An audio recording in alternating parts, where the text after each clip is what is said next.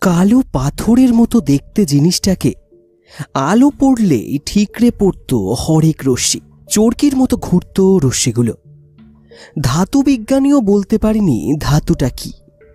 রহস্যময় এই বস্তুটাই চুরি গেল আরও রহস্যজনকভাবে রাত দুপুরে কান্দ্রা উপত্যকায়। পাহাড় থেকে নেমে এলো ঝোড়ো হাওয়া। শোনা গেল ঘুঙুরের শব্দ। নিভে গেল সব আলো। তারপর সেদিন সকালে কর্নেল নীলাদ্রি সরকারের ডেরায় গিয়ে তার প্রিয় ভৃত্য ষষ্ঠীচরণকে কেমন যেন মন মরা লক্ষ্য করছিলাম। কর্নেল তখনও ছাদে ক্যাকটাস এবং অর্কিডের সেবায় মশগুল। এসব সময় অবস্থা মৌনি বাবাদের মতো। তাই নিচের ড্রয়িং রুমে অপেক্ষা করছিলাম। ষষ্ঠী যথারীতি কফি দিয়ে গিয়েছিল। কিন্তু মুখটা বেজায় গম্ভীর, চেহারা উস্কো শুষ্ক চোখের তলায় যেন কালি। জিজ্ঞেস করছিলুম অসুখ বিসুখ নাকি? ষষ্ঠী শুধু মাথা নেড়েছিল। এরকম মাথা নাড়ার মানে হ্যাঁ বা না, যে কোনোটাই হতে পারে। কিছুক্ষণ পরে কফির পেয়ালা নিয়ে এলো সে। তখন বললুম, তোমাকে এমন দেখাচ্ছে কেন ষষ্ঠী? ষষ্ঠীচরণ দাঁড়িয়ে মুখ নামিয়ে আঙুল খুঁড়তে থাকল। তারপর গলার ভেতর বলল "আহ, ঠিক বুঝতে পারছি না দাদাবাবু। আহা তোমার হয়েছে কি বলবে তো? এবার ষষ্ঠী নিজের মাথাটা দু হাতে আঁকড়ে ধরে বলল আমি হয়তো আর বাঁচবো না দাদাবাবু। আমার মাথার ভেতর কি একটা হয়েছে দুদিন থেকে। বাবা মশাইকে বললুম তো হেসে উড়িয়ে দিলেন। এদিকে আমার মাথার ভিতর খালি বেহালা বাজছে। অবাক হয়ে বললুম, বেহালা বাজছে? সে আবার কি? আগে হ্যাঁ এই তো এখনও বাজছে। ষষ্ঠী করুণ মুখে বলল, মাঝে মাঝে বাজছে, আবার বন্ধ হয়ে যাচ্ছে। প্রথমে ভেবেছিলুম কেউ কোথাও বেহালার বাজনা শিখছে। এবারই সব ফ্ল্যাট, আশেপাশের সব ফ্ল্যাট, সব খোঁজাখুঁজি করেছি। শেষে বুঝতে পেরেছি আমার খুলির ভেতর বাজছে। আমার বড় কষ্ট, দাদাবাবু। হঠাৎ চমকে উঠলাম। এ কি? আমার মাথার ভেতরেও যেন বেহালা বাজছে। এতক্ষণ খেয়াল করিনি। এবার স্পষ্ট বুঝতে পারছি। অত্যন্ত ক্ষীণ সুরে ঝিঁঝি পোকার ডাকের মতো কোঁ কোঁ করে বেহালা বাজছে। ষষ্ঠী আমার মুখের অবস্থা দেখে কি বুঝল কে জানে। ফোঁস করে শ্বাস ছেড়ে কফির পাত্র নিয়ে চলে গেল। আমি বড় ভাবনায় পড়ে গেলুম। কলকাতায় এক এক সময়ে এক এক রকম উদ্ভট রোগের প্রাদুর্ভাব ঘটে। এই বেহালা রোগ নিশ্চয়ই সংক্রামক। ষষ্ঠীর হাতে কফি খাওয়া মাত্র আমাকে ধরেছে। দু হাতে মাথা আঁকড়ে ধরে জোরে ঝাঁকুনি দিলাম।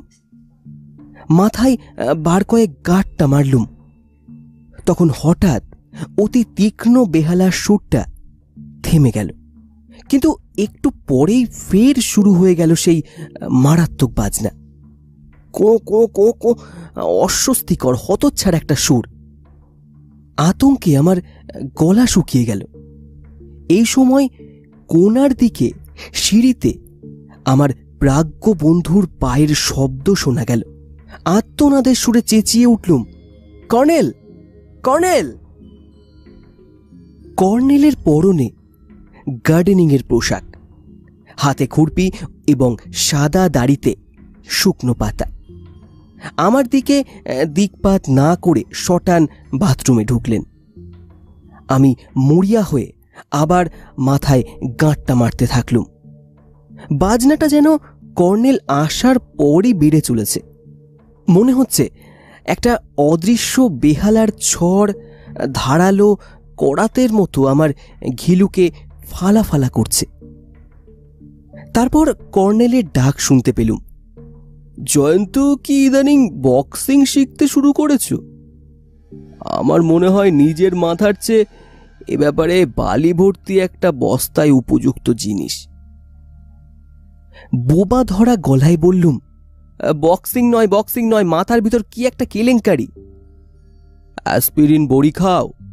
না না, বেহালার বাজনা। উফ, আমার মাথার ভেতর কেউ বেহালা বাজাচ্ছে। কর্নেল আস্তে আস্তে থমকে দাঁড়িয়ে গিয়েছিলেন। পর্দার ফাঁকে ষষ্ঠীচরণের মুন্ডু দেখা যাচ্ছিল।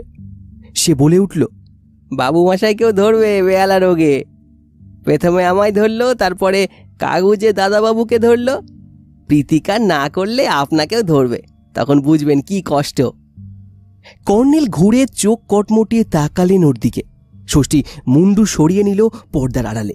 তারপর কর্নেল আমার দিকে ঘুরে হো হো করে হেসে উঠলেন।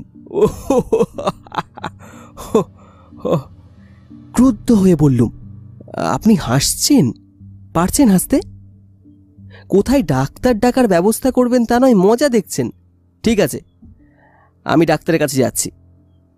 উঠে দাঁড়াতেই কর্নেল এগিয়ে এসে আমার কাঁধে থাবা হাঁকড়ালেন। তারপর হিড় হিড় করে টেনে একটা অ্যাকোরিয়ামের কাছে নিয়ে গিয়ে বললেন ওটা কি? হকচকিয়ে গিয়েছিলুম অ্যাকোরিয়ামের ভেতর একটি কালচে বাদামি রঙের জলচর জীব রয়েছে। দেখতে দেখতে বললুম "আহ, কাকড়া বলে মনে হচ্ছে। এই কাকড়াটির সঙ্গে তোমার এবং ষষ্ঠীর বেহালা রোগের সম্পর্ক আছে। তার মানে? কর্নেল আবার অট্ট হাসি হেসে বললেন,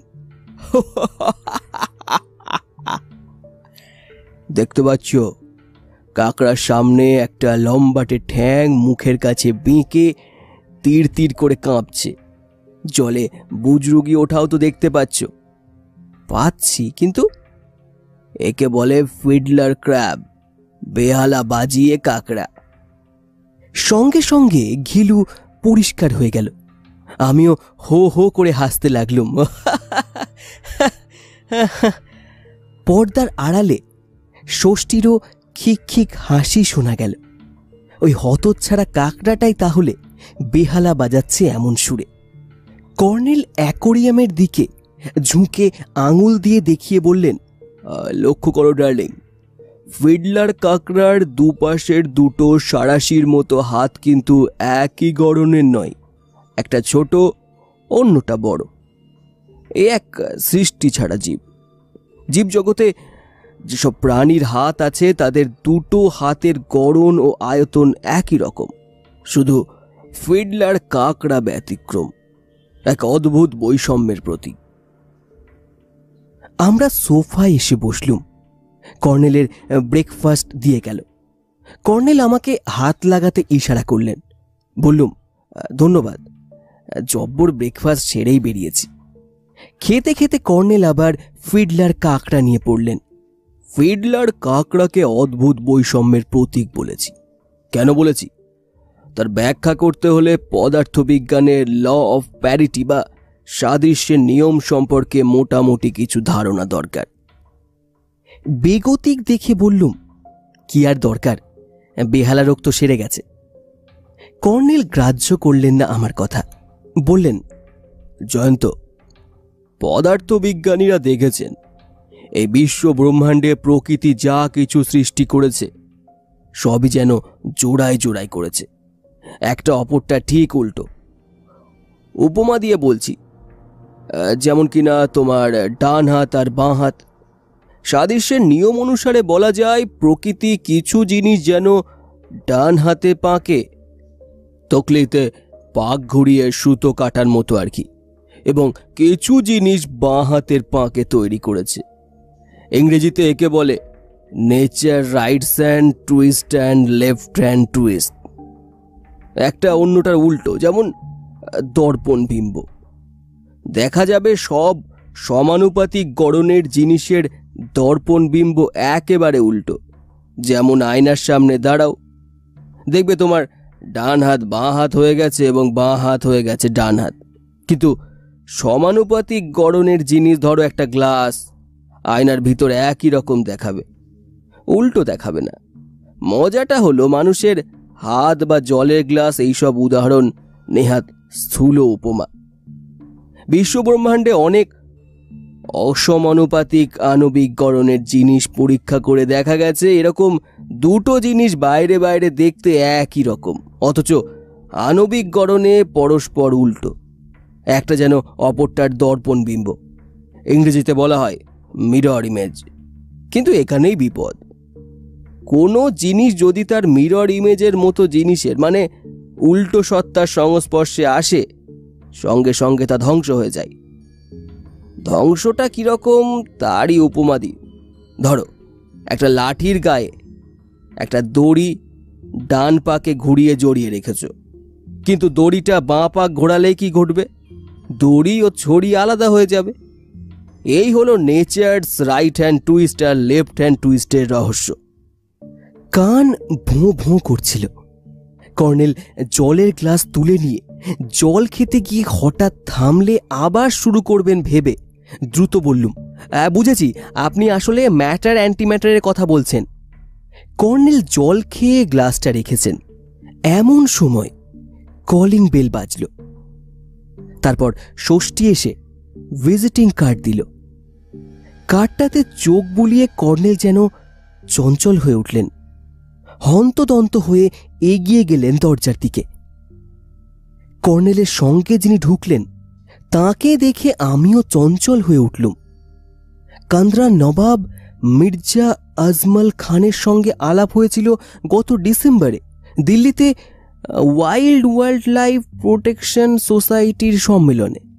ভদ্রলোক একজন প্রখ্যাত ওরিয়েন্টোলজিস্ট অর্থাৎ আহ, পক্ষী বিজ্ঞানী বোম্বের সালিম আলীর ঘনিষ্ঠ বন্ধু। সালিম সাহেবও সেই সম্মেলনে এসেছিলেন। মির্জা সাহেব অমায়িক এবং খেয়ালি প্রকৃতির মানুষ। কর্নেলের মতোই তাগড়ায় ভরসা চেহারা। তবে কর্নেলের মুখে সাদা দাড়ি এবং প্রশস্ত টাক। মির্জা সাহেবের মুখে শুধু বিশাল গোঁফ, মাথা ভর্তি ঝাঁকড়া মাকড়া চুল, বয়সে দুজনেই অবশ্য ষাটের ওধারে। মির্জা সাহেব সোফায় বসেই ঘোষণা করলেন, আপনাদের নিতে এলুম। বলে আমার দিকে ঘুরলেন। হ্যাঁ আপনাকেও। কারণ ভেবে দেখলুম একজন সাংবাদিকেরও এসব বিষয়ে জড়িত থাকা উচিত। কর্নেল একটু হেসে বললেন, কি সব বিষয়ে বলুন তো? বলছি, বলে হঠাৎ মির্জা সাহেব মাথাটা জোরে নাড়া দিলেন। বললেন, আরে কি মুশকিল? কি হলো মির্জা সাহেব? হঠাৎ মাথার ভেতর কি যেন? বেহালার বাজন নয় তো? বলে উঠলুম সঙ্গে সঙ্গে। মির্জা সাহেব মাথাটা আবার ঝাঁকুনি দিয়ে বললেন, সর্বনাশ! বেহালার বাজনার মতো মাথার ভেতর এ কি বিশ্রী উপদ্রব শুরু হলো। কর্নেল গম্ভীর মুখে বললেন, ফিডলার ক্র্যাব, এই অ্যাকোরিয়ামে বসে বেহালা বাজাচ্ছে। তাই বলুন, কান্দ্রার নবাব হা হা করে অট্ট হাসি হাসতে লাগলেন। কফিতে চুমুক দিয়ে মির্জা সাহেব গম্ভীর হয়ে বললেন, এখনও লোকে আমাকে মির্জা নবাব বলে ডাকে, খাতিরও করে, কিন্তু নবাবই তো কবে ঘুচে গেছে। প্রিভিসপার বাবদ বার্ষিক বৃত্তিও সরকার বন্ধ করে দিয়েছে। সেজন্য অবশ্য আমি মোটেও দুঃখিত নই। ধন সম্পদে আমার কোনোদিনই রুচি ছিল না। কিন্তু জিনিসটা আমার পূর্বপুরুষের সংগৃহীত সম্পদ। বাজারে নিশ্চয়ই ওটার অনেক টাকা দাম। দামের জন্য নয়, একটা পারিবারিক ও বংশানুক্রম পবিত্র স্মৃতির প্রতীক বলে আমার কষ্ট হচ্ছে। কর্নেল বললেন আর জিনিসটা বলতে কোনো রত্নের কথাই হয়তো বলছেন। সেটা কি চুরি হয়ে গেছে? কান্দ্রার নবাব নিঃশ্বাস ফেলে বললেন হ্যাঁ খুব রহস্যময় চুরি। কবে চুরি গেছে? গত পঁচিশে মার্চ রাত্রে। আমি তখন কান্দ্রা লেকের ধারে তাঁবুতে ছিলাম। খবর পেয়েছিলাম হিন্দুকুচ থেকে এক ঝাঁক ভরত পাখি এসেছে। দুদিন ধরে খুঁজে বেড়াচ্ছিলুম। ছাব্বিশ মার্চ সকালে খবর পেলুম নূরে আলুম চুরি গেছে। নূরে আলম কথাটার মানে ব্রহ্মাণ্ডের জ্যোতি। এমন নামের কারণও ছিল। ওটা একটা অত্যাশ্চর্য রত্ন। বিস্তর জুহুরিকে দেখানো হয়েছে। কেউ বলতে পারেনি ওটা কি। কালো রঙের পাথরের মতো দেখতে, অথচ আলো পড়লেই নীল, লাল, সাদা, সবুজ, হরেক রঙের রশ্মি ঠিকরে পড়তো। আর সেই রশ্মিগুলো চরকির মতো ঘুরত। একবার এক ধাতু বিজ্ঞানীকে দেখিয়েছিলুম। তিনিও চিনতে পারেননি ওটা কি ধাতু? হুম, কীভাবে চুরি গেছে? কান্দ্রা উপত্যকায় এই সময়টা মাঝরাতে পাহাড় থেকে একটা ঝোড়ো হাওয়া নেমে আসে। গ্রীষ্ম অবধি এটা দেখা যায়। পঁচিশ মার্চ রাতে ঝড়টা যখন আসে, হঠাৎ বাড়ির আলোগুলো সব নিভে গিয়েছিল। ঝড়টা মিনিট কুড়ি ছিল। ওই সময় দারোয়ান একটা অদ্ভুত শব্দ শোনে। শব্দটা কতকটা ঘুঙুরের মতো। কেউ যেন পায়ে অসংখ্য ঘুঙুর বেঁধে ঝমঝম করে হেঁটে বেড়াচ্ছে। বাবুর্চি কিসমত খা বলছে, সে অন্যরকম শব্দ শুনেছে। শীষের মতো। তারপর আগে বলুন, নূরে আলম ছিল কোথায়? আমার বেডরুমে দেওয়ালে আটা আয়রন চেস্টের ভেতর। চোর সেটার একটা পাল্লা সম্ভবত গ্যাসের আগুনে, তার মানে অ্যাসিটেলিনে গলিয়ে তরল করেছে। তারপর জিনিসটা হাত দিয়েছে। দরজা বন্ধ ছিল বাইরে থেকে। নিশ্চয়ই ছিল, তালা গলিয়ে ফেলেছে, কিন্তু ভয়ঙ্কর ব্যাপার হলো দরজার বাইরে আমার এক পরিচারক কুদরত খায়ের লাশ পড়েছিল। নিশ্চয়ই সে টের পেয়ে ছুটে গিয়েছিল, কিন্তু তাজ্জব ব্যাপার, তার লাশ একেবারে পুড়ে ছাই। একদলা ছাই তুলে কবর দেয়া হয়েছে। ছাই? কর্নেল অবাক হয়ে বললেন, পোস্টমর্টেম হয়নি? কীভাবে হবে? তবে এক মুঠো ছাই পুলিশ দিল্লির ফরেন্সিক এক্সপার্টদের কাছে পাঠিয়েছিল। তাদের মতে প্রচণ্ড ভোল্টের বিদ্যুৎ বয়ে গেছে কুদরাত খার শরীরে। বাজ পড়ে মারা গেলেও কিন্তু লাশ পুড়ে ছাই হয় না।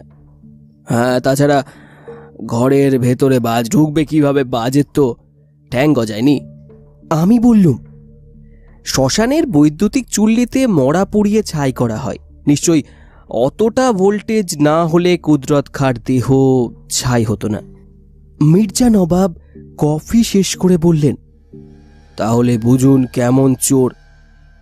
কর্নেল একটু হেসে বললেন "হাহ, বৈদ্যুতিক চোর। মির্জা সাহেবের মুখে অবশ্য হাসি ফুটল না। উনি জ্যাকেটের পকেটে হাত ভরে কিছু বের করেছিলেন। ভাবলুম, সিগারেটের প্যাকেট বের করছেন। কিন্তু তার বদলে বের করলেন কাগজে জড়ানো একটা চাকতির মতো জিনিস। মোড়ক খুললে দেখলুম, জিনিসটা একটা কালো রঙের চাকতি। আয়তনে রূপোর টাকার চেয়ে সামান্য বড়। চাকতিটার দুপিঠেই সাদা আঁকযোগ। সেটা কর্নেলের হাতে দিয়ে কান্দ্রার নবাব বললেন, এই জিনিসটা কুদরত খায়ের লাশের পাশে পড়েছিল। ফরেন্সিক্স টেস্ট করানো হয়েছে। ওরা বলতে পারেননি এটা কোনো ধাতু না পাথর, কোনো জৈব পদার্থ নয়। মোট কথা এটা বিজ্ঞানীদের এ পর্যন্ত জানা কোনো পদার্থের মধ্যে পড়ে না। কর্নেল উঠে গিয়ে তার আতস কাঁচ নিয়ে এলেন। তারপর পরীক্ষা করতে করতে বললেন, হুম এই আজযোগগুলো ফার্সি নয়। কি ভাষা কে জানে? মির্জা সাহেব বললেন, কর্নেল, এই জিনিসটাকে কান্দ্রার লোকেরা বলে উজরাকের পাঞ্জা। কর্নেল মুখ তুললেন ভুঁড়ো কুঁচকে বললেন, উজরাকের পাঞ্জা? আমি অবাক হয়ে বললুম, উজরাক? সে আবার কে? কান্দ্রা নবাব বললেন ওখানকার লোকে বিশেষ করে পশুপালক গুজর উপজাতির লোকেরা বংশ পরম্পরায় বিশ্বাস করে। কান্দ্রা উপত্যকার পশ্চিমের পাহাড়ে বাস করে ওজরাক নামে এক মায়াবী জাদুকর। তার নাকি উড়ান খাটোলা বা উড়ন্ত খাটিয়া আছে। তাতে চেপে মাঝে মাঝে উজরাক বেড়াতে যায় নক্ষত্রের দেশে। হাসতে হাসতে বললুম "উম, রীতিমতো রূপকথা। মির্জা সাহেব বললেন ওজরাক নাকি খেয়াল বসে কখনো তার পাহাড়পুরি থেকে নেমে আসে কান্দ্রা উপত্যকায়। যখনই আসে এই পাঞ্জা ফেলে যায়। যেন জানিয়ে যায়, আমি এসেছিলুম। আপনি বিশ্বাস করেন এসব কথা? মোটেও করি না, কিন্তু পঁচিশে মার্চ রাত্রে যখন লেকের ধারে তাঁবুতে ছিলাম, ঝড় ওঠার সময় দূর আকাশ হতে একটা আলো নেমে আসতে দেখেছিলুম। ভেবেছিলুম উল্কা কিংবা কান্দ্রা অবজারভেটরি আবহাওয়া বেলুন। কে জানে কি? আর কারোর কাছে ওজরাকের পাঞ্জা আছে জানেন? দেখেছেন এমন পাঞ্জা? দেখেছি। গুর্জরদের সর্দার হালাকু একটা পাঞ্জা কুড়িয়ে পেয়েছিল, সেটা যত্ন করে রেখে দিয়েছিল। দেখিয়েছিল আমাকে। কর্নেল চাকতিটা খুঁটিয়ে পরীক্ষা করছিলেন। কান করে শুনি, বিড়বিড় করে বলছেন ওজরাকের পাঞ্জা ওজরাকের পাঞ্জা, ওজরাক ওজরাক। তারপর সোজা হয়ে বসলেন। মির্জা সাহেব, এগুলো হরফ নয়, প্রতীক চিহ্ন। পাঁচটা করে আঁকা বাঁকা সাদা রেখা আসলে বজ্র চিহ্ন। এই বলে উনি হন্তদন্ত উঠে গেলেন বুল শেফের কাছে। একটা প্রকাণ্ড বই টেনে পাতা উল্টাতে শুরু করলেন। তারপর উজ্জ্বল হাসি নিয়ে সোফায় ফিরলেন। বললেন, আমার স্মৃতিশক্তি ক্ষয়ে যাচ্ছে দ্রুত। প্রকৃত বার্ধক্যের লক্ষণ চুলদাড়ি সাদা হওয়া বা বয়স বেশি হওয়াতে নয়। যাই হোক, এই বইটা হলো রিচার্ড কেলির লেখা a short walk in the Karakoram and Hindukush. পর্যটক কেলি আঠেরোশো উনআশি সালে কাশ্মীর আফগানিস্তান আর পামির অঞ্চলে কিছুদিন ঘুরে বেরিয়েছিলেন ওই সময় তিনি স্থানীয় লোকেদের কাছে ওজরাকের পাঞ্জার কথা শোনেন, তবে তিনি জিনিসটা দেখেননি। মির্জা সাহেব জিজ্ঞেস করলেন, ওজরাকের গল্প তাহলে শুনে থাকবেন কেলি। লিখেছেন কিছু? কর্নেল জবাব দিলেন হ্যাঁ কেলির মতে ওটা স্রেফ রূপকথা। কর্নেলের হাত থেকে পাঞ্জাটা চেয়ে নিলুম। দেখতে দেখতে বললুম, এটাকে পাঞ্জা বলার কারণ কি? মির্জা সাহেব বললেন, পাঞ্জা এসেছে পাঞ্জ শব্দ থেকে। ফার্সি পাঞ্জ আর সংস্কৃত পঞ্জ একই শব্দ। কিন্তু পাঞ্জা বলতে বোঝায় হাতের পাঁচটা আঙুলের ছাপ।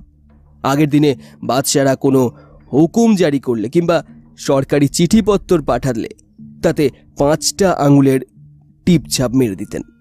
সই জাল করা যায়, কিন্তু আঙুলের ছাপ জাল করলে ধরা পড়বেই, কারণ প্রত্যেকটি মানুষের আঙুলের ছাপ আলাদা।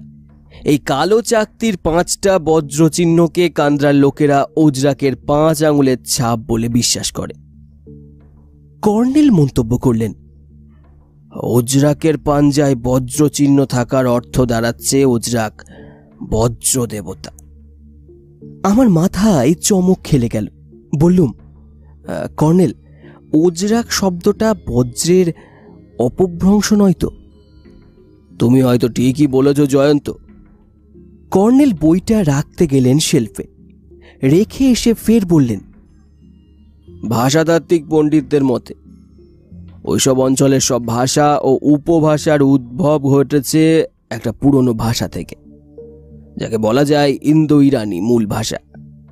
তাই ভারতীয় প্রধান ভাষা সংস্কৃতের সঙ্গে ওদের মিল দেখা যায় এত। মির্জা সাহেব একটু চঞ্চল হয়ে উঠলেন। বললেন ভাষাতত্ত্ব থাক কর্নেল সাহেব। আমার নূরে আলম চুরির ব্যাপারে কি করছেন বলুন?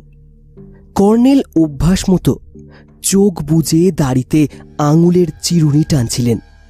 সেই অবস্থায় বললেন ইদানিং দেশের বিভিন্ন জাদুঘর বা প্রত্নশালা থেকে বেশ কিছু ঐতিহাসিক রত্ন এবং মূর্তি চুরির হিড়িক পড়ে গেছে। না, কোথাও ওজরাকের পাঞ্জা পড়ে থাকতে দেখা যায়নি, তবে চুরির পদ্ধতি অনেকটা একই রকম। অ্যাসিটেলিন প্রয়োগ করেছে চোর, সেই সঙ্গে আরও একটা মিল এখন দেখতে পাচ্ছি। চুরি হয়েছে দুপুর রাতে এবং হঠাৎ নড়ে বসলেন কর্নেল। চোখ খুলে বললেন, কি আশ্চর্য। মির্জা সাহেব বললেন, কি ব্যাপার? ঝড় বা ঝোড়ো হাওয়া, তার মানে প্রত্যেকটি চুরি হয়েছে গভীর রাতে এবং সেই সময় ঝড় বইছিল। আমি বললুম, ঝড়ের সময় মকা বুঝে চোর এসেছিল হয়তো। কর্নেল উঠে পাইচারি করতে করতে উত্তেজিতভাবে বললেন শুধু ঝড় নয়, অদ্ভুত সব শব্দ। মির্জা সাহেব বলছিলেন, দারোয়ান যেন ঘুঙুরের শব্দ শুনেছে। প্রত্যেকটি চুরির রিপোর্টে এর উল্লেখ আছে। রক্ষীরা বলছে যেন কোথায় ঝমরঝম শব্দে ঘুঙুর বেঁধে কেউ নাচছিল। আমি ও কান্দ্রার নবাব নিঃশব্দে দেখা দেখি করছিলাম পরস্পরের দিকে। বলার কিছু খুঁজে পাচ্ছিলাম না। কান্দ্রা উপত্যকার চারিদিকেই উঁচু সব পাহাড়। পূর্ব দিকে একটা গিরিবর্ত আছে, যার নাম হায়দার পাস। কান্দ্রা নবাবের পূর্বপুরুষের নামে। স্থলপথে কান্দ্রায় ঢুকতে হলে হায়দার পাস হয়ে যেতে হয়। কিন্তু শীতের দু তিনটে মাস এই গিরিবর্ত বরফ জমে বন্ধ হয়ে যায়। তবে এ যুগে বিমানের দৌলতে কান্দ্রা যাতায়াতে আগের মতো বাধা বিপত্তি নেই। বারো মাসই যাতায়াত চলে, শীতের সময়টা বিমানে, বাকি সময়টা মোটর গাড়িতে। এখন এপ্রিলে হায়দার পাস খুলে গেছে। কান্দ্রায় বসন্ত ঋতুর সমারোহ। তবে এই ভূস্বর্গ ভ্রমণে খুব কড়াকড়ি আছে সরকার থেকে। প্রতিরক্ষা দপ্তরের কড়া নজর পর্যটকদের দিকে। Observatory, radar centre, space research laboratory, বিমান বাহিনীর ব্যারাক এবং একটি বিমান ক্ষেত্র। কান্দ্রা ভ্যালিতে এত সব ব্যাপার, কাজেই কড়াকড়ি থাকা স্বাভাবিক। সম্প্রতি কান্দ্রা অবজারভেটরিতে যে টেলিস্কোপটি বসানো হয়েছে, সেটা এশিয়ার বৃহত্তম। অবজারভেটরির director doctor Shilbhadra Som colonel এবং আমাকে ঘুরে ফিরে সব দেখাচ্ছিলেন। কর্নেলের সঙ্গে ওর পরিচয় আছে দেখে অবাক হইনি।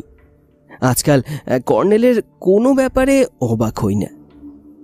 দেখাশোনা শেষ হলে ডক্টর সোম আমাদের নিয়ে গেলেন তার অফিস ঘরে। এখান থেকে কান্দ্রা উপত্যকার বহু দূর পর্যন্ত নজরে পড়ে। কর্নেল চুরুর জেলে ধোয়ার ভেতর থেকে বললেন ডক্টর সোম পঁচিশ এবং ছাব্বিশ মার্চের অবজারভেশন রিপোর্টটা এবার দেখতে চাই। কর্নেল ফাইলে মনোনিবেশ করলেন।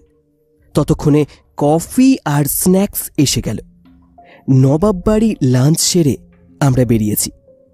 এখন প্রায় তিনটে বাজে। কফি খেতে খেতে রিপোর্ট পার্ট শেষ করে কর্নেল মুখ তুলে একটু হাসলেন। মাঝরাতের ঝড়টার কিছু বৈশিষ্ট্য ছিল তাহলে। ডক্টর সোম বললেন, ছিল দশ মিনিট সাতান্ন সেকেন্ডের ঝড়। সারা কান্দ্রা ভ্যালির পাওয়ার ফেল করেছিল ততক্ষণ।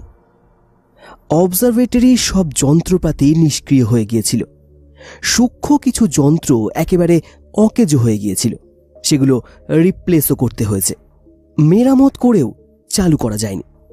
আর এর থেকেও সাংঘাতিক ব্যাপার, কসমিক ডাস্ট পাওয়া গেছে ছাদের ফুল গাছের পাতায় এবং খোলা ট্যাঙ্কের জলে।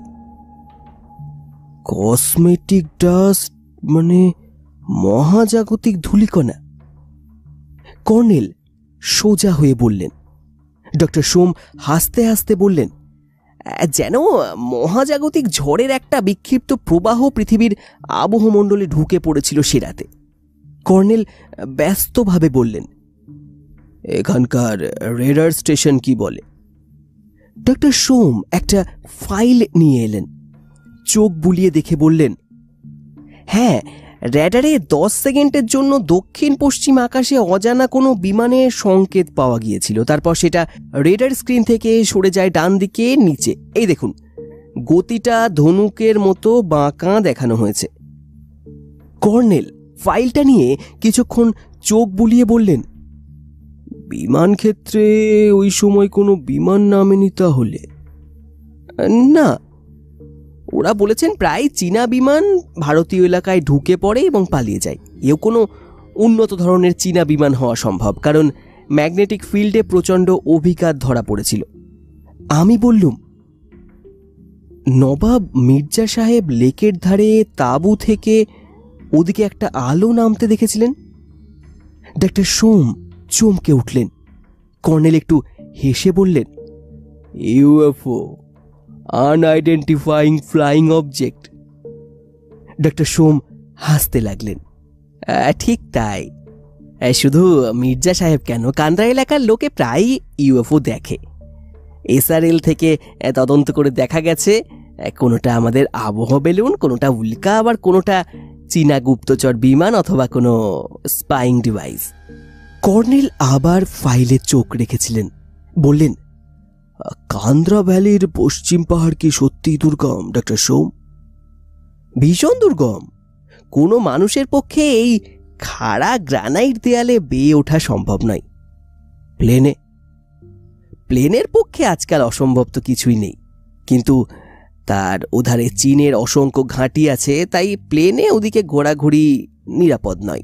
আপনি ওজরাকের কথা শুনেছেন, ডক্টর সোম?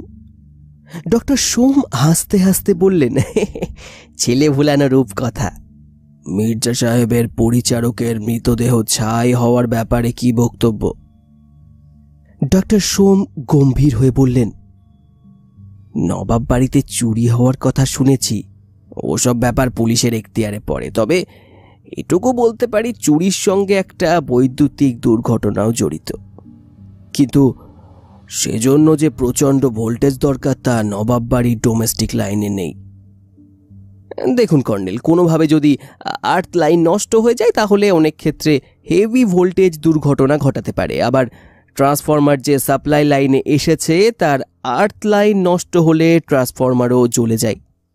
নবাব বাড়ির পেছনে একটা ট্রান্সফরমার আছে, সেটা জ্বলে গিয়েছিল শুনেছি। কাজেই ডেড বডি ছাই হওয়ার মধ্যে অলৌকিক কিছু থাকতে পারে না। অনেক সময় সাপ্লাই লাইনে আর্থ লাইনের গণ্ডগোলের জন্য প্রচণ্ড বাড়ে আবার কমে যাকে বলে ফ্ল্যাকচুয়েশন একবার আমার কোয়ার্টারে এমন হয়েছিল। ধোয়া বেরোতে শুরু করেছিল বাল্ব কেটে গিয়েছিল টিভি ফ্রিজ ইত্যাদি নষ্ট হয়ে গিয়েছিল। কর্নেল উঠলেন। চলি ডক্টর সোম আপনাকে অসংখ্য ধন্যবাদ। প্রয়োজনে আবার আপনাকে বিরক্ত করতে আসব। হ্যাঁ, অবশ্যই আসবেন। ডক্টর সোম করমর্দন করলেন কর্নেলের সঙ্গে, তারপর আমার করমর্দন করে বললেন, জয়ন্তবাবু, আমাদের কাজকর্ম সম্পর্কে আশা করি কাগজে লিখবেন। ডক্টর সোমের কাছে বিদায় নিয়ে যখন বেরুলাম, তখন কান্দ্রা উপত্যকায় বিকেলের গোলাপি রোদ্দুর নেমেছে। পাহাড়ের গা কেটে রাস্তা নেমেছে ঘুরে ঘুরে। মির্জা সাহেবের গাড়িতে আমরা এসেছিলাম। ড্রাইভারের নাম বদর খাঁ। একখানে হঠাৎ গাড়ি থামিয়ে সে হিন্দিতে বলল ও দেখুন সাহেব, উজরাকের কথা জিজ্ঞাসা করছিলেন, ওই দেখুন, উজরাকের দেশ। আজব জাদু দেখুন। কর্নেল মুখ বাড়ালেন। আমি বললুম, কই জাদু, বদর খা? বদর খা বলল, পশ্চিম দিকে নজর দিন সাহেব, আমাকে গাড়ি থেকে নামতে হলো। কারণ গাড়ির মুখ উত্তরে এবং কর্নেল বসেছেন বাঁদিকে। আমি ডাইনে। নেমে গিয়ে হতবাক হয়ে পড়লুম। ওই পার্থিব সৌন্দর্যের কোনো তুলনা নেই। পশ্চিমের পাহাড়গুলোর চূড়ো, কোনোটা গির্জার মতো ছুচলো, কোনোটা পিরামিডের মতো তিনকোনা। আবার তাদের ফাঁক গলিয়ে পিচকিরির মতো রং বেরঙের আলোর দীর্ঘ দীর্ঘ ফালি উপত্যকার সবুজ সমভূমিতে নেমে এসেছে। পাহাড়গুলোর কাঁধে ঘন নীল কুয়াশার আলোয়ান চাপানো যেন। কিন্তু বড় মায়াময় ওই রামধনুর মতো অথবা প্রিজমের মতো বিচ্ছরিত বর্ণালী, এমন আশ্চর্য রঙের খেলা আর কখনো দেখিনি।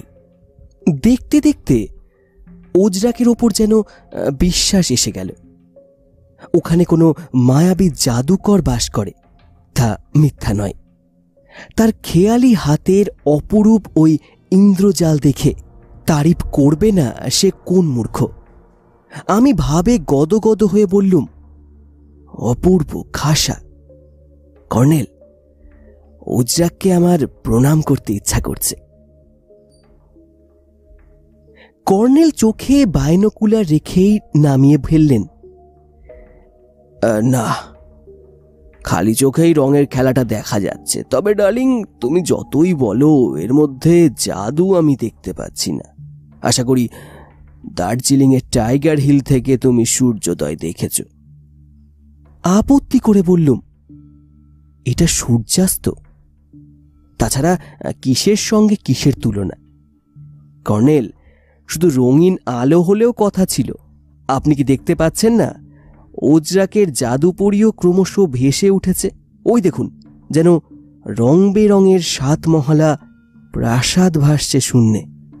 বদর খা বিড়বিড় করে কি আওড়াচ্ছিল চোখ বুজে। এবার দুহাতে মুখ ঘষে তাকে গাড়িতে ঢুকতে দেখলুম।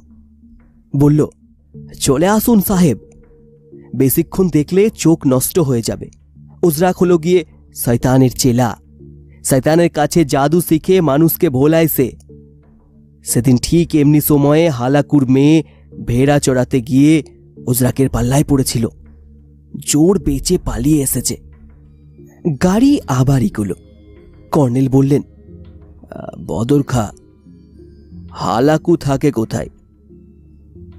বদর খা বলল লেকের দক্ষিণে এখান থেকে ছ সাত মাইল দূরে ওদের তাঁবু। সেখানে গাড়ি করে যাওয়া যায় না বদর খা লেক অব্দি গাড়ি যাবে, তারপর আধা মাইল পাইদাল যেতে হবে। নিয়ে যাবে আমাদের। বদর খা হাসল।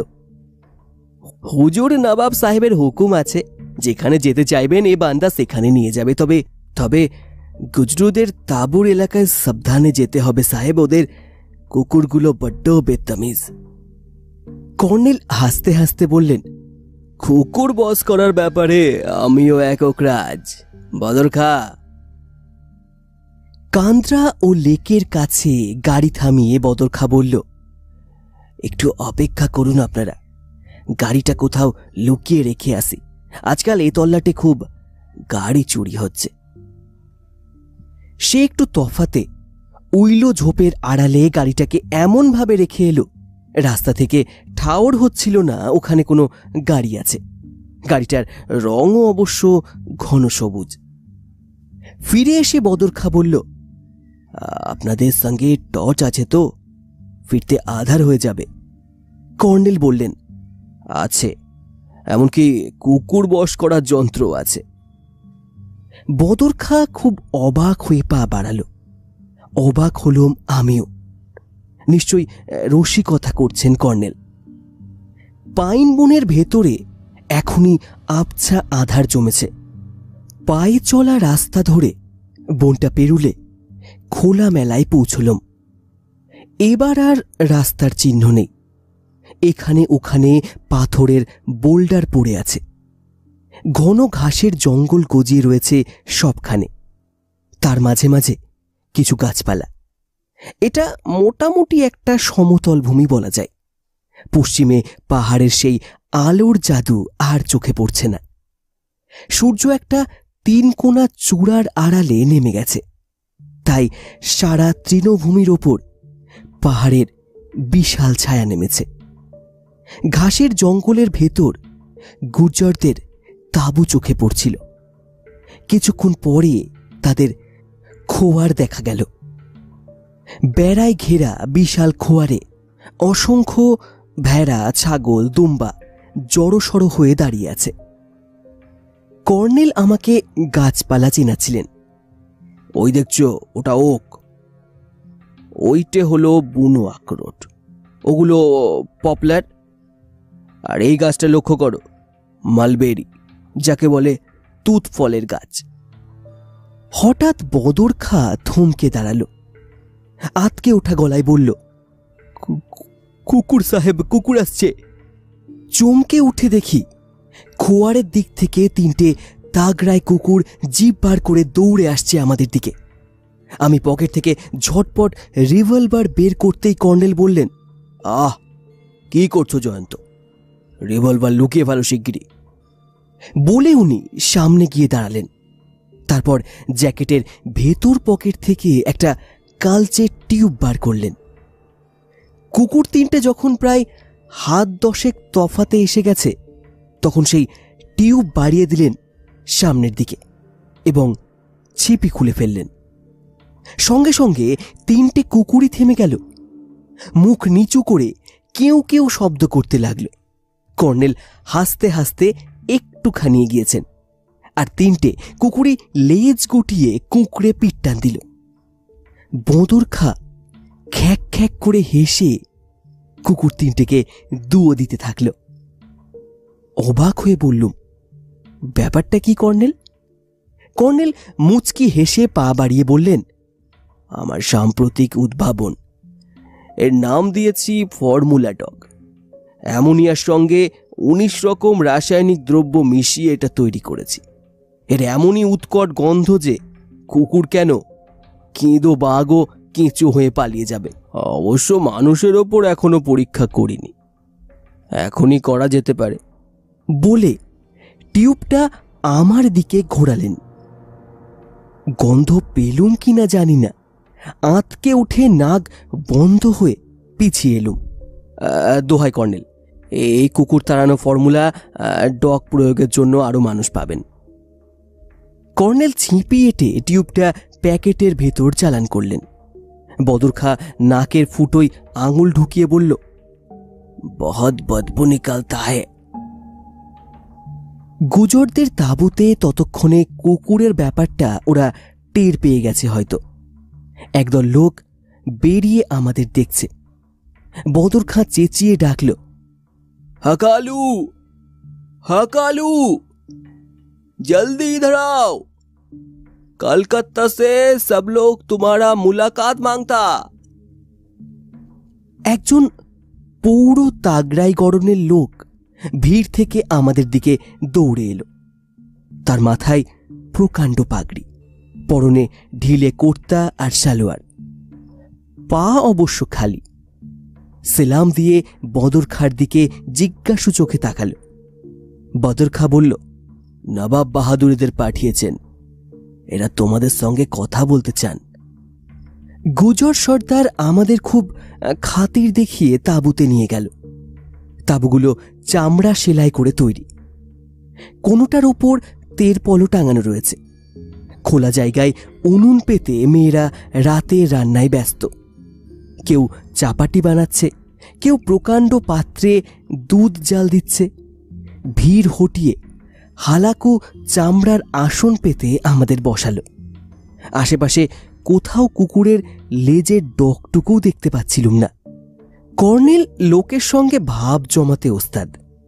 হালাকু সর্দারের সঙ্গে খোশ গল্প জুড়ে দিয়েছেন। হালাকু ভাঙা ভাঙা হিন্দিতে কথা বলছে। আমরা নবাব বাহাদুরের মেহমান শুনে সে একেবারে ভক্তিতে গদগদ।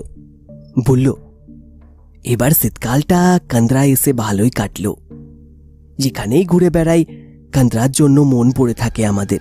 কান্দ্রার নবাব আমাদের মা বাপের মতো। ওই যে ঘাসের জঙ্গল দেখছেন?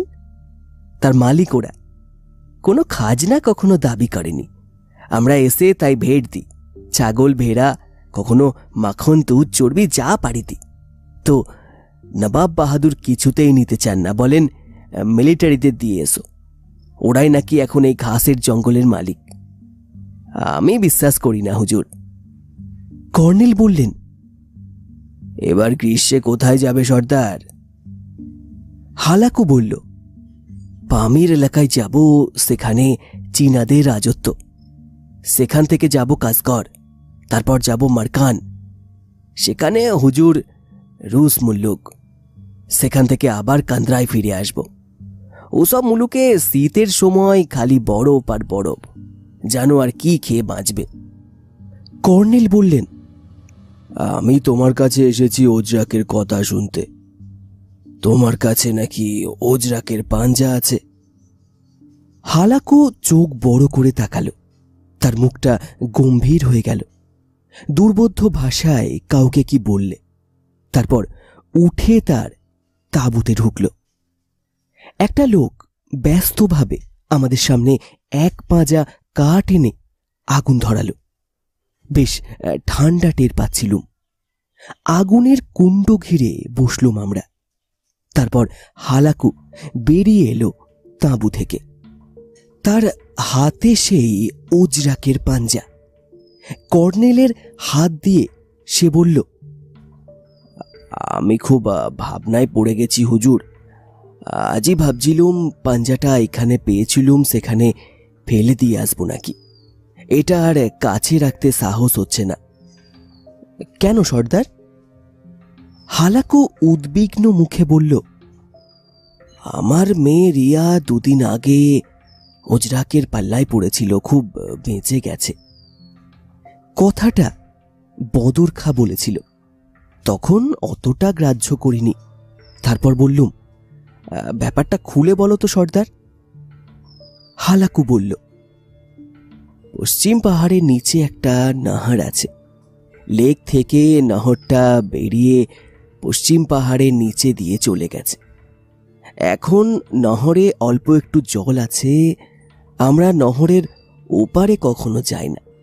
রিয়া সেটা জানে, তবে ওর দোষ নেই। আমার একটা মদ্দা ভেড়া খুব বদমাস। পাল থেকে প্রায় পালিয়ে যায়। সেটা নহরের ওপারে চলে গেছিল। রিয়া সেটাকে ধরে আনতে গিয়েই উজরাকের পাল্লায় পড়েছিল। কর্নেল বললেন, তোমার মেয়ের মুখে ব্যাপারটা শুনতে চাই, সর্দার। তাকে ডাকো। হালাকুর ডাকে একটি কিশোরী এগিয়ে এলো। ছিপছিপে গড়ন, পাকা আপেলের মতো গায়ের রং, পরনে সালোয়ার কামিজ। চুলে লাল একটা রুমাল বাঁধা। হালাকু তাদের ভাষায় কিছু বলল। রিয়া কাঁচুমাচু হাসছিল। কর্নেল পকেট থেকে একটা চকলেটের প্যাকেট বের করে বললেন, নাও রিয়া, এটা তোমার জন্য এনেছি। হালাকুর ইশারায় রিয়া সেটা নিল। তারপর ভাঙা ভাঙা হিন্দিতে যা বলল, তা যেমন অদ্ভুত তেমনি রোমাঞ্চকর।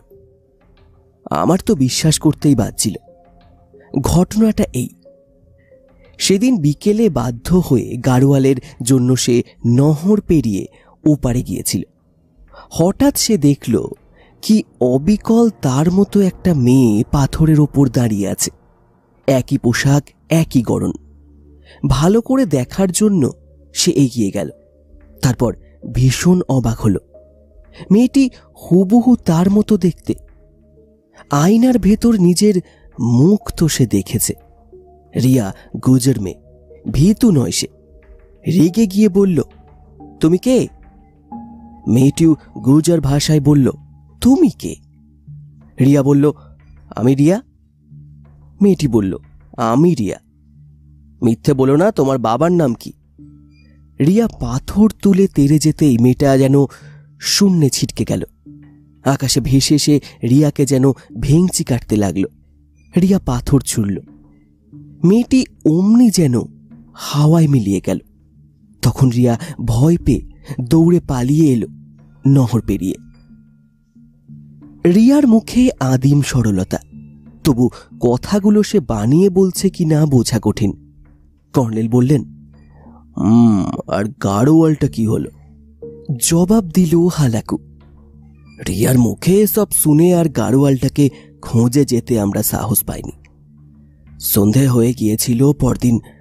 সকালে দল বেঁধে সিঙ্গা, ঢোল এসব নিয়ে যখন গেলুম, নহরের ধারে ওজরাকের পুজো দিলুম। আগুনে ঘি আর ভেড়ার রক্ত দিয়ে পুজো দেওয়ার নিয়ম। পুজো দিয়ে সাহস করে নহরের ওপারে গেলুম। বেশি দূর যেতে হয়নি। গাড়োয়ালটা ঘাসের ভেতর মরেছিল। কিন্তু হুজুর তাজ্জব ব্যাপার। সেই মরা জানোয়ারটাকে ওঠাতে গেছি দেখি কি পুরোটাই ছাই। কর্নেল, আমি ও বদর খা একসঙ্গে বলে উঠলুম, ছাই?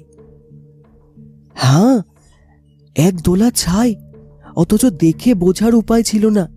যেমনকার চেহারা, লোমের রং তেমনই ছিল, কিন্তু হাত ঠেকাতেই ছাই হয়ে গেল। আমরা ভয় পেয়ে পালিয়ে এলুম। উজরাক বড় জাদুকর হুজুর। সে তো মানুষ নয়। সে হলো পরিদের রাজা।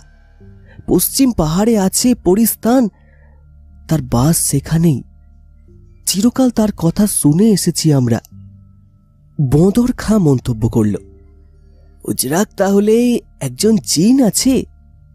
কেতাবে জিনের কথা আছে বটে। নবাব প্রাসাদের ডাইনিং হলে ডিনার খেতে খেতে কর্নেল হালাকুর মেয়ে রিয়ার ঘটনাটা মির্জা সাহেবকে শোনাচ্ছিলেন।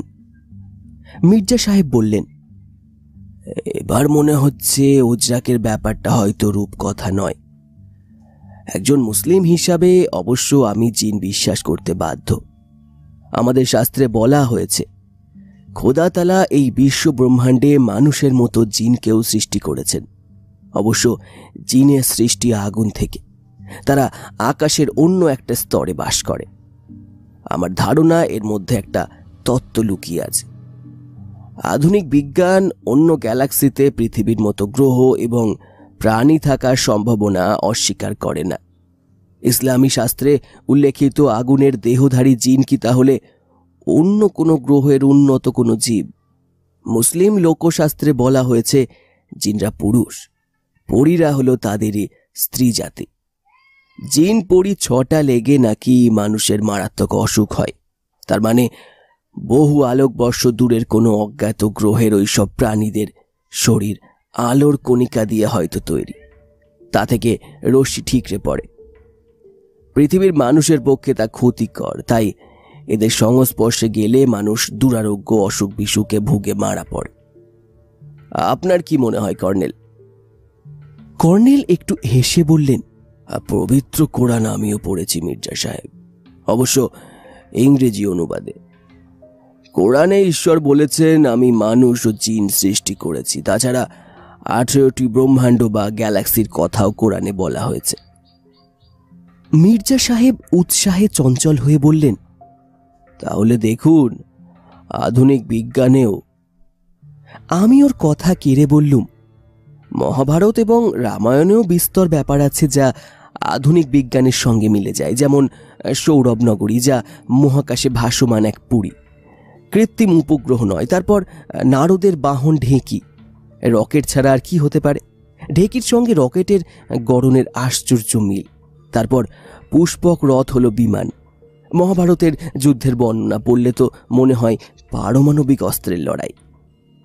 কর্নেল বলে উঠলেন ডার্লিং, আমরা হয়তো দানিকেনের রাজকবি তত্ত্বের দিকে এগোচ্ছি। মির্জা সাহেব বরং শাস্ত্র পুরাণ থাক আপাতত।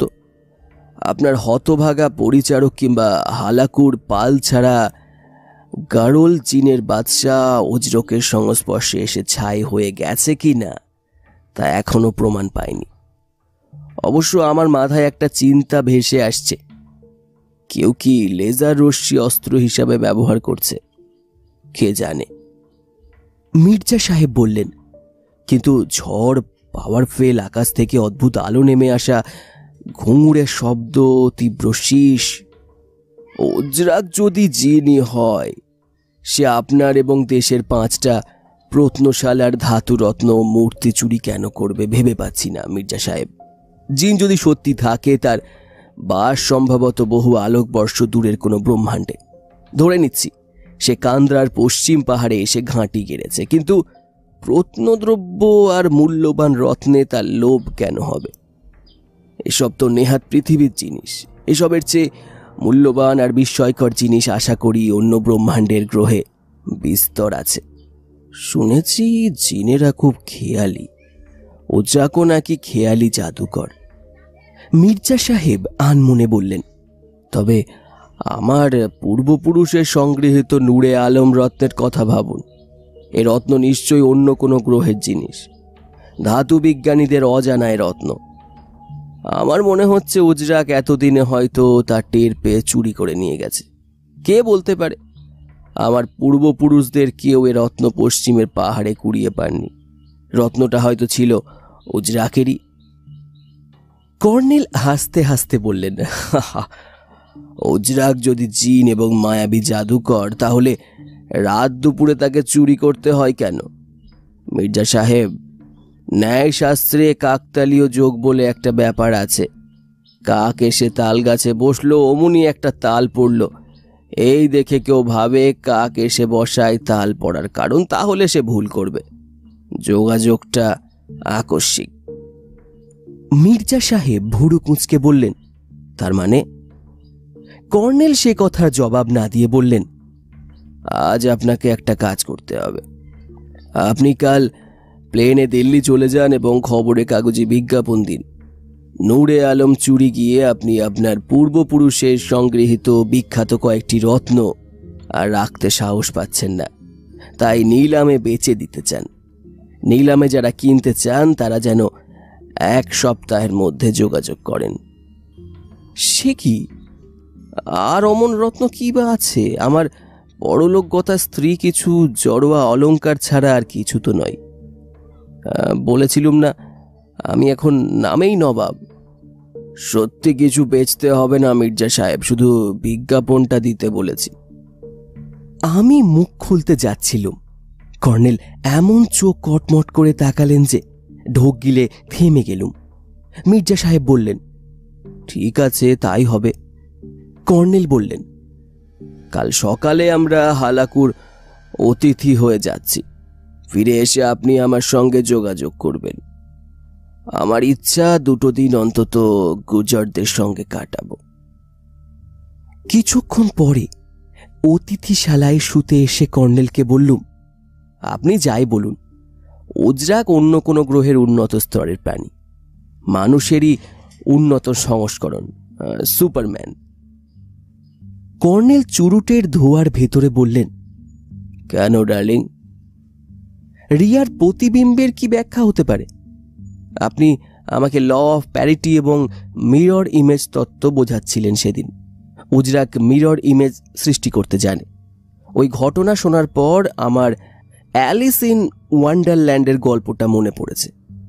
অ্যালিস যেমন আয়নার ভেতরকার দেশে গিয়েছিল, রিয়াও হয়তো তেমনই। বাধা দিয়ে কর্নেল বললেন, উল্টো মানুষের দেশ, বলো জয়ন্ত।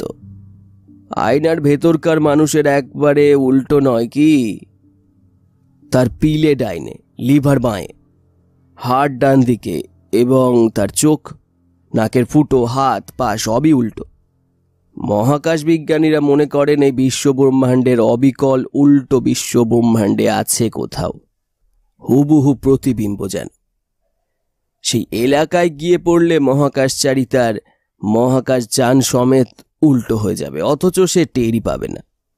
তারপর সে যখন তার নিজের বিশ্বে ফিরবে, অমনি হবে সাংঘাতিক কাণ্ড। প্রচণ্ড বিস্ফোরণে তার যান সমেত পুড়ে ছাই হয়ে যাবে। তোমাকে দড়ি ও ছড়ির উপমা দিয়েছিলুম, আশা করি মনে আছে। বললুম হ্যাঁ ম্যাটার এবং অ্যান্টি ম্যাটার পরস্পরের সংস্পর্শে এলে ধ্বংস হবে। কর্নেল, রিয়া বেচারি জোর বেঁচে গেছে বলা যায়। উল্টো রিয়ার সঙ্গে ছোঁয়াছুঁই হলেই কি হতো ভেবে দেখুন। হুম ঠিক তাই ঘটত। উজরাক যেই হোক খুব সাবধানী এবং কৌতুকপ্রিয়। কর্নেল রাতের পোশাক পরতে ব্যস্ত হলেন। ফায়ার প্লেসে আগুনের সামনে গিয়ে বসে ডাকলেন, এখানে এসো, ডার্লিং। আরাম করে বসলুম আগুনের সামনে। বললুম আচ্ছা কর্নেল, মিরর ইমেজ বলুন বা উল্টো বস্তুই বলুন। বুঝলুম তার আণবিক গড়ন আপনার তত্ত্ব অনুসারে অসমানুপাতিক। কিন্তু তা অ্যান্টি ম্যাটার কেন?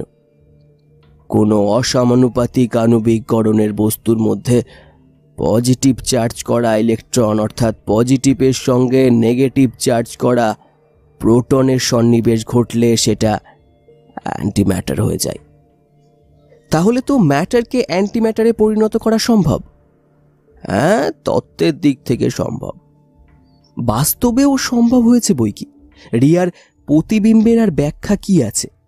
প্রকৃতির ডান হাত, বাঁ হাতের লেখার কথা বলছিলেন। মানুষ তো প্রকৃতির বহু নিয়ম জেনে বিস্তর খেলা খেলতে পেরেছে। প্রকৃতির প্রতিদ্বন্দ্বী হয়ে ওঠেনি কি মানুষ? হুম তা তো হয়েছে। প্রকৃতির লেফট হ্যান্ড টুইস্টের নিয়ম ওজরাক জানে। কর্নেল হাসলেন, ওজরাকের প্রতি তোমার বিশ্বাস ও ভক্তি দেখে আশঙ্কা হচ্ছে ডালি ওজরাক তোমাকে তুলে নিয়ে না যায়। সাবধান। হাসতে হাসতে বললুম, নিয়ে গেলেই খুশি হব। পৃথিবীটা গলে পচে গেছে, এখানে আর থাকতেই ইচ্ছা করে না। কর্নেল আগুনে আবার একটা কাঠ গুজে দিয়ে হেলান দিলেন। চোখ বুজে রইলেন। আমি হাই তুলে বিছানায় গিয়ে শুয়ে পড়লুম। নতুন জায়গায় গিয়ে সহজে ঘুম আসে না। কাল রাতে ভালো ঘুম হয়নি। এই রাতেও তাই। চোখ বুজে ঘুমোনোর চেষ্টা করছিলুম, ঘুম আসছিল না। মাঝে মাঝে চোখ খুলে দেখছিলুম। কর্নেল তখনও ফায়ার প্লেসের সামনে বসে আছেন হেলান দিয়ে। চোখ বন্ধ। ওখানেই ঘুমাচ্ছেন নাকি? অবশ্য ওর ঘুমের লক্ষণ হলো নাক ডাকা। নাক যখন ডাকছেন না, তখন ঘুমোচ্ছেন না। চিন্তা ভাবনা করছেন নিশ্চয়। তারপর কখন ঘুমিয়ে পড়েছিলুম? হঠাৎ ঘুম ভেঙে সেটা টের পেলুম। বাইরে চাপা শোঁ শোঁ শব্দ শোনা যাচ্ছিল। ঝড় হচ্ছে নাকি? কান্দ্রা উপত্যকায় মাঝরাতে ঝড় আসে শুনেছি। তাহলে সেই ঝড়? কিন্তু ঘরের ভেতর এত অন্ধকার কেন? জানলার পর্দার মাথায় কাঁচের খানিকটা অংশ বাইরের আলো এসে প্রতিফলিত হতে দেখছি। তার ফলে ঘরের আলো নেভালেও ঘরের ভেতর আবছা সবকিছু দেখা যায়। কিন্তু বাইরে আলো নিভে গেছে। ঝড়ের শব্দটা বাড়ছে ফায়ার প্লেসের আগুনও নিভে গেছে। টেবিল ল্যাম্পের সুইচ চাপলেও আলো জ্বলল না। কর্নেলের নাক ডাকছিল।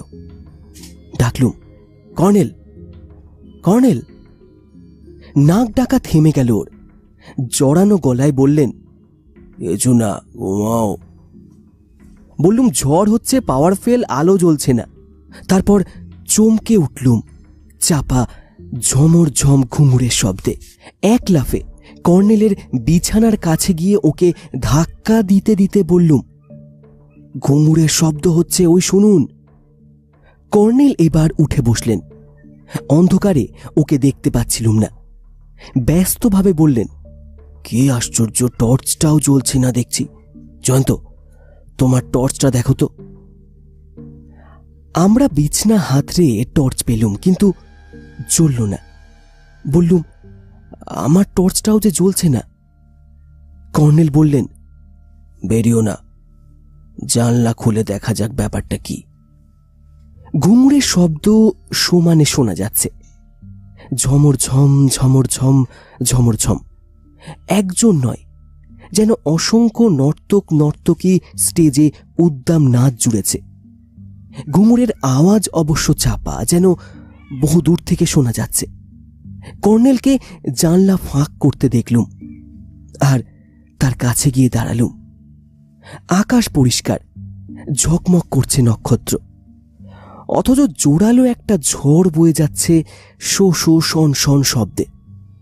ঘুমুরের শব্দটা কিন্তু বদ্ধ ঘরের ভেতরে যেমনটি শুনছিলুম বাইরেও তেমনটি। ফিডলার কাকড়ার বেহালার বাজনা যেমন মাথার ভেতর বাজছে মনে হচ্ছিল এও কতকটা তেমনি। হঠাৎ অনেক দূরে একটা আলোর মতো জিনিস চোখে পড়ল। বললুম "আহ, কি ওটা কর্নেল? কর্নেল জবাব দিলেন না। আলোটা ভারী অদ্ভুত। মাটি থেকে সামান্য উঁচুতে ভাসছে। একটু পরে বুঝতে পারলুম ওটা নিজেই আলোকিত, কিন্তু অন্য কোনো জিনিসকে আলোকিত করছে না। তাহলে ওটা নিশ্চয়ই আলো নয়, অথচ ওটা যেন ঘুরছে, দেখতে কতকটা সিলিং ফ্যানের গোলাকার অংশটার মতো। ঘুরছে বলছি কারণ ওটার গায়ে কিছু লাল, নীল, সবুজ, হলুদ ফুটকি দেখতে পাচ্ছি এবং ফুটকিগুলো স্থান বদল করছে।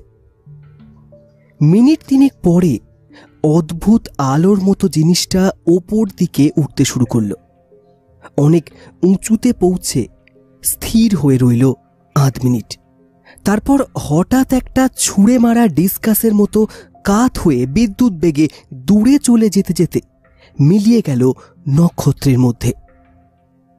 খেয়াল করে দেখি ঝড়টা থেমে গেছে। ঘুঙুরের শব্দও নেই। তারপর প্লেনের শব্দ শুনতে পেলাম। কর্নেল বললেন, মনে হচ্ছে বিমান বাহিনী এতক্ষণে ওটা খোঁজে বেরিয়ে পড়েছে।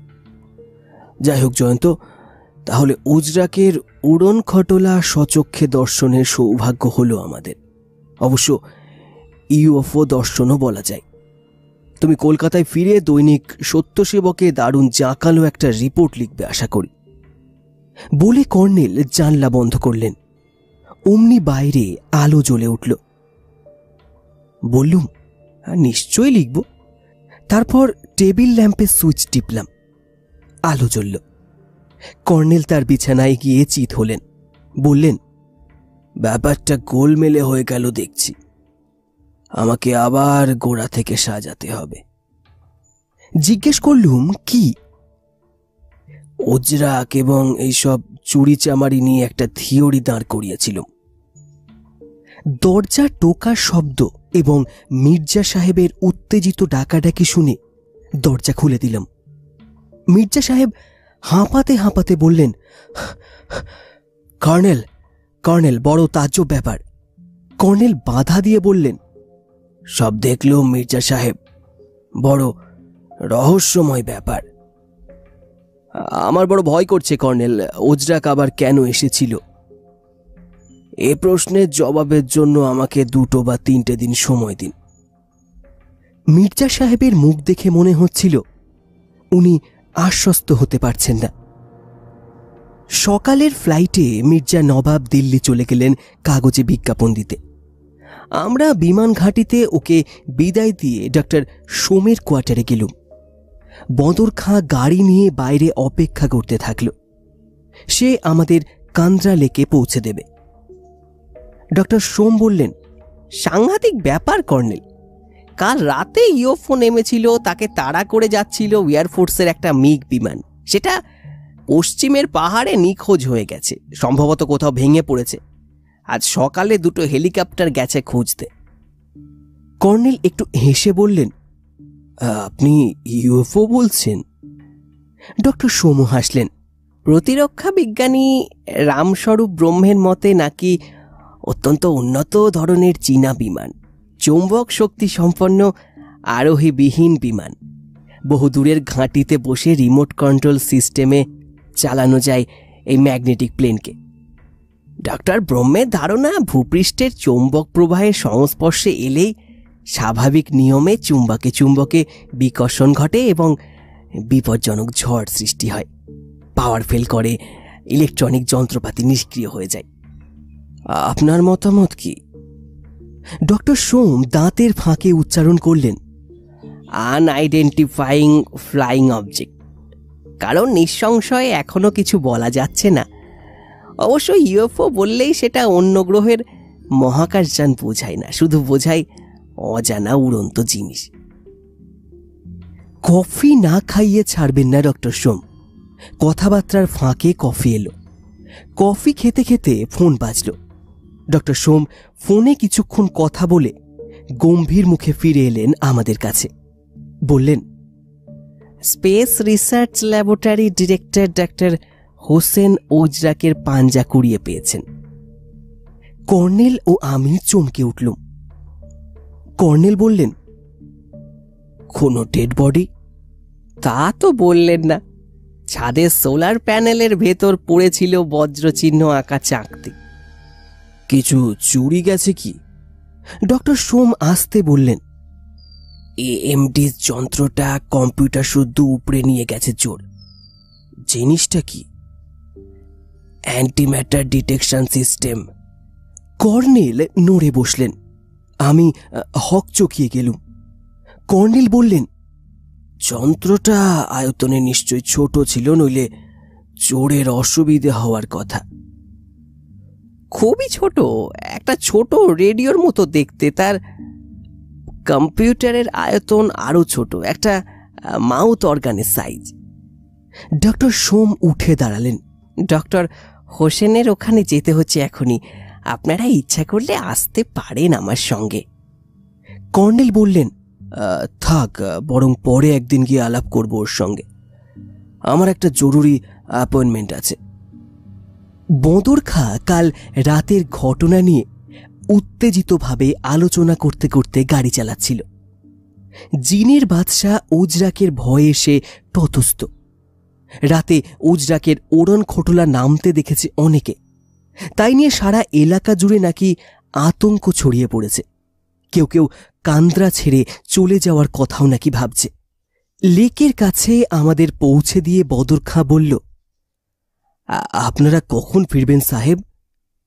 কর্নেল বললেন, পরশু সকালে ঠিক এই সময় তুমি গাড়ি নিয়ে চলে আসবে এখানে। আমরা এই চেনার গাছের তলায় তোমার অপেক্ষা করব। বদর খাঁ গাড়ি নিয়ে চলে গেল। আমাদের দুজনের পিঠেই ছোটখাটো দুটো বুঁচকা, বিস্তর টুকিটাকি জিনিসে ভর্তি। পাইন বনটা পেরিয়ে তৃণভূমিতে পৌঁছে গুজরদের কুকুরগুলোর কথা মনে পড়ল। কিন্তু দূর থেকে নজর রেখেও তাদের লেজের ডগাটুকুও দেখতে পাচ্ছিলাম না। ঘাসের মাঠে কয়েকটা ঘোড়া চড়ছে। খোয়ারটা শূন্য। ভেড়া, ছাগল, দুম্বার পাল চড়াতে নিয়ে গেছে গুজর রাখালেরা। তাঁবুর সামনে বুনো আখরোট গাছের তলায় কিছু মেয়ে মাখন তৈরি করছে। মাটির পাত্রে দুধ জাল দিচ্ছে কেউ। বুড়োরা চামড়ায় নুন মাখিয়ে রোদে দিচ্ছে। হালাকু সর্দার আমাদের জন্য অপেক্ষা করছিল। এগিয়ে এসে আমাদের সে অভ্যর্থনা করল। হালাকু একটু তফাতে ওক গাছের তলায় একটা নতুন তাঁবু দেখিয়ে বলল, ওই আপনাদের ডেরা হুজুর। আশা করি কোনো তকলিফ হবে না। যে নহরের কথা বলেছিলাম সেটা পেছনেই। খুব পরিষ্কার জল পাবেন। আর পাখির কথা বলেছিলেন, নহরের ওখানে হরেক রকম হাড়ি পাখি দেখতে পাবেন। যত খুশি ফটো খিচুন, ওরা ভয় পায় না। নবাব বাহাদুরও ওখানে এসে ডেরা পাতেন। গত মাসেও এসে কিছুদিন ছিলেন ওখানে।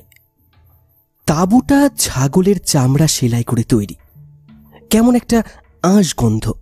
কর্নেল আমার মুখের ভাবে সেটা টের পেয়ে বললেন, ডার্লিং, ঘণ্টা কয়েকের মধ্যে শুয়ে যাবে। সন্ধ্যার মতো দুপাত্র টাটকা ছাগলের দুধ নিয়ে এলো হালাকু। সঙ্গে মেয়ে রিয়া। হালাকু বলল সাহেবদের খাতির যত্নের ভার রিয়ার ওপর যা দরকার একে বলবেন। হালাকু কাল রাতের উড়ন খটলা নামার গল্প করতে লাগল। কর্নেল জিজ্ঞেস করলেন ঠিক কোন জায়গায় নেমেছিল বলতে পারো সর্দার? জবাব দিল রিয়া আমি জানি আগেরবারও সেখানে নেমেছিল। বলে সে পূর্ব দক্ষিণ দিকে আঙুল নির্দেশ করল। হালাকু অবাক হয়ে বলল "আহ, তুই কেমনে জানলি? রিয়া বলল, সেদিন সকালে পাল চড়াতে গিয়ে পোড়া ঘাস দেখেছিলুম। তুমি আজকাল ওসব কথা ভুলে যাও, তাই শুনে তুমি বকাবকি করেছিলে, না? কর্নেল পাশে পড়ে থাকা একটা পাথরের ওপর উঠে চোখে বাইনকুলার রাখলেন। দেখতে দেখতে বললেন, হুম, রিয়া ঠিকই দেখিয়েছে। ওখানে মিলিটারি ভ্যান নিয়ে একদল অফিসার তদন্ত করতে এসেছে। আরে, ডক্টর সৌম্য এসে গেছেন দেখছি। জোরালো তদন্ত হচ্ছে তাহলে। নেমে এসে ফের বললেন, তাহলে এবেলা আর ওখানে যাওয়া হলো না। সর্দার, বিকেলে তোমার মেয়েকে সঙ্গে নিয়ে জায়গাটা দেখতে গেলে আপত্তি করবে না তো? হালাকু একগাল হেসে বলল, হুজুর মাহারা মেয়েটি মোটে আমার। তাকে আপনার জিম্মায় দিয়েছি। ইচ্ছা করলে টাউনে নিয়ে গিয়ে লেখাপড়া শেখান মেম সাহ বানিয়ে দিন। সে খুব হাসতে লাগল। রিয়া গাল ফুলিয়ে বলল, আমি লেখাপড়া শিখব না মেম সাহেবও হব না। কর্নেল বললেন, তাহলে কি হতে চাও তুমি? কিচ্ছু না। বুঝেছি। মাঠে মাঠে জানোয়ারের পাল নিয়ে ঘুরে বেড়াতেই তোমার ভালো লাগে। রিয়া আসতে বলল, খুব ভালো লাগে। হালাকু বলল, ওর জন্ম হয়েছিল পামির এলাকায় রিয়ায়। তাই ওর নাম রেখেছিলাম রিয়া সেখানে এমনই ঘাসের মাঠ, হুজুর। ওই মূল্যকে রিয়া কথার মানে ঝর্ণা। রিয়ার সঙ্গে কর্নেলের খুব ভাব হয়ে গেল। আমার প্রতি তার লক্ষ্য কম। বুঝতে পারছিলুম। কর্নেলের দাড়ি ওকে বশ করে নিয়েছে। কিছুক্ষণ পরে আমরা দুজনে বেরিয়ে পড়লুম। পিছনের নালাটা প্রায় তিরিশ ফুট চওড়া, পাথরে ভর্তি। তার ফাঁকে ঝিরি ঝিরি স্বচ্ছ জল বয়ে যাচ্ছে।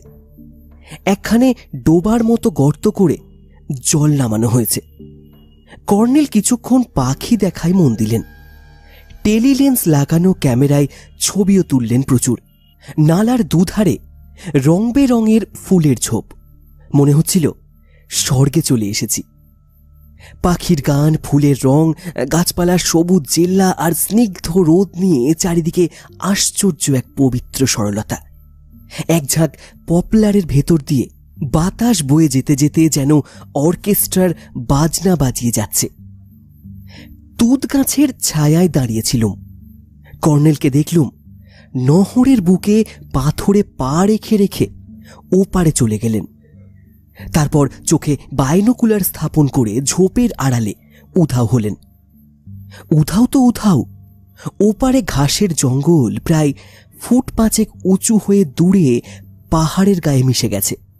যেন এক সবুজ সমুদ্রের ঢেউ আঁচড়ে পড়ছে ধূসর নীল কঠিন শিলার ওপর। মাঝে মাঝে দ্বীপের মতো উঁচু গাছের জটলা এবং কোথাও গ্রানাইট শিলার ঢিপি। কর্নেলের ছাই রঙা টুপি একবারের জন্য চোখে পড়ল। বুঝলুম, কোনো বিরল প্রজাতির পাখির পেছনে ধেয়ে চলেছেন। তার মানে এবেলার মতো ওর আশা বৃথা। সিগারেট ধরিয়ে প্রকৃতির সৌন্দর্যে মন দিলাম। কর্নেলের এমন বাতিগ্রস্ত আচরণ নতুন দেখছি না। পপুলার শ্রেণির ভেতর বাতাসের অর্কেস্ট্রা বেড়ে গেছে ততক্ষণে। রঙিন ফুল গাছগুলো তালে তালে নাচ জুড়েছে। একসময় হঠাৎ আমার মাথার ওপর তুত গাছের ডালপালা থেকে এক ঝাঁক টিয়া পাখি বেসুরে চেঁচিয়ে উঠল এবং ট্যাঁ ট্যাঁ করে চেঁচাতে চেঁচাতে পালিয়ে গেল। তারপরে বাঁদিকে কয়েক হাত তফাতে কর্নেলকে দেখতে পেলুম। কিন্তু এমন কেন দেখাচ্ছে ওকে? মুখে কেমন পাগলাটে হাসি চোখ দুটো রাঙা। বললুম, অমন করে তাকাচ্ছেন কেন? কি হয়েছে? কর্নেল নিষ্পলক চোখে তাকিয়ে তেমনি পাগলাটে হাসি ঠোঁটে রেখে একটু এগিয়ে এলেন। অবাক হয়ে বললুম, কথা বলবেন তো, অমন করছেন কেন? কর্নেল প্যান্টের পকেট থেকে চুরুট বের করলেন। দৃষ্টি কিন্তু আমার দিকেই। চুরুটটা ঠোঁটে রেখে লাইটার ধরাচ্ছেন। সেই সময় লক্ষ্য করলুম চুরুটটা বাঁ হাতে বের করছেন এবং লাইটার ধরাচ্ছেন ডান হাতে। এতকাল ওর অভ্যেসের সঙ্গে পরিচিত আমি। ডান হাতে চুরুট নিয়ে বাঁ হাতে লাইটার জ্বালেন। দ্বিতীয়বার খটকা লাগল ওর কপালের দিকে তাকিয়ে। ওর কপালে বাঁ দিকে একটু কাটা দাগ আছে, কিন্তু এখন দেখছি দাগটা ডান দিকে। দেখা মাত্র। আঁতকে পিছিয়ে এসে চেঁচিয়ে উঠল, কর্নেল, আপনি উল্টো মানুষ। সঙ্গে সঙ্গে কর্নেল অদৃশ্য, আমিও ঝোপ জঙ্গল ভেঙে পাথরে আছাড় খেতে খেতে একবার তাঁবুর সামনে গিয়ে ধপাস করে বসে পড়লুম। হালাকু দৌড়ে এসে বলল, কি হয়েছে হুজুর? বললুম, কিছু না, ধাক্কাটা সামলে নিতে সময় লাগল। বারবার মনে হচ্ছিল। ব্যাপারটা হয়তো আমি চোখ দিয়ে দেখিনি, মন দিয়ে দেখেছি। অর্থাৎ নিতান্তই দিবা স্বপ্ন। তুঁত গাছের ছায়ায় স্নিগ্ধ বাতাসে দাঁড়িয়ে প্রকৃতির সৌন্দর্যের মধ্যে অকারণ দিন দুপুরে ভূত দেখার মতোই উল্টো কর্নেল দর্শনের কোনো মানে হয় না। হালাকু আমার মুখের দিকে তাকিয়ে দাঁড়িয়ে আছে তখনও। একটু ধাতস্থ হওয়ার পর বললুম তেমন কিছু না, সর্দার। নহরের ওপারে জঙ্গলে বাঘের মতো কি যেন দেখলুম। হালাকু হাসতে হাসতে বলল, এ মুল্লুকে সের কোথায় হুজুর? নিশ্চয় তাহলে বৌজি কহু দেখেছেন। বৌজি কুহু, সে আবার কি জানোয়ার? বুনো পাহাড়ি ছাগল।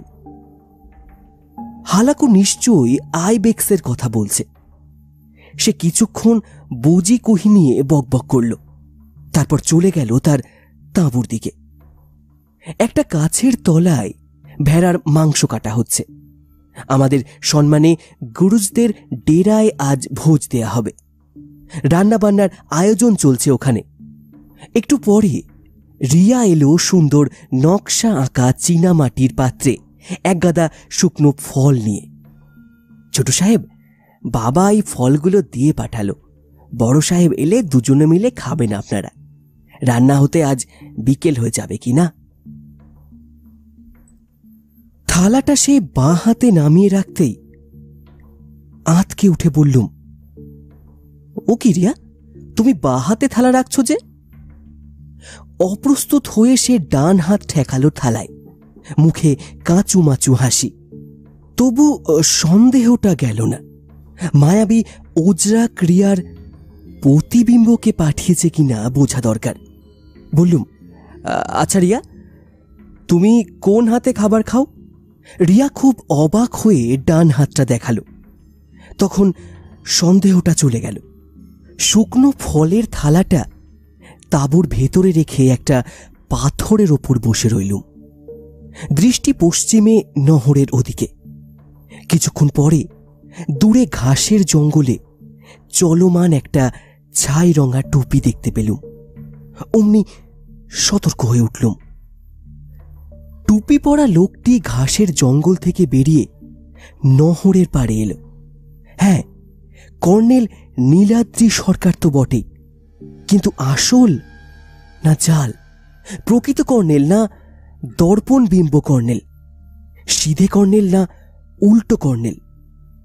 ওজরাকের দেশের সীমান্তে এসে এবার থেকে পদে পদে সতর্ক থাকা দরকার। নহর পেরিয়ে সিধে বা উল্টো কর্নেল হন হন করে এগিয়ে আসছেন। বুকে ক্যামেরা ও বাইনোকুলার তেমনই ঝুলছে।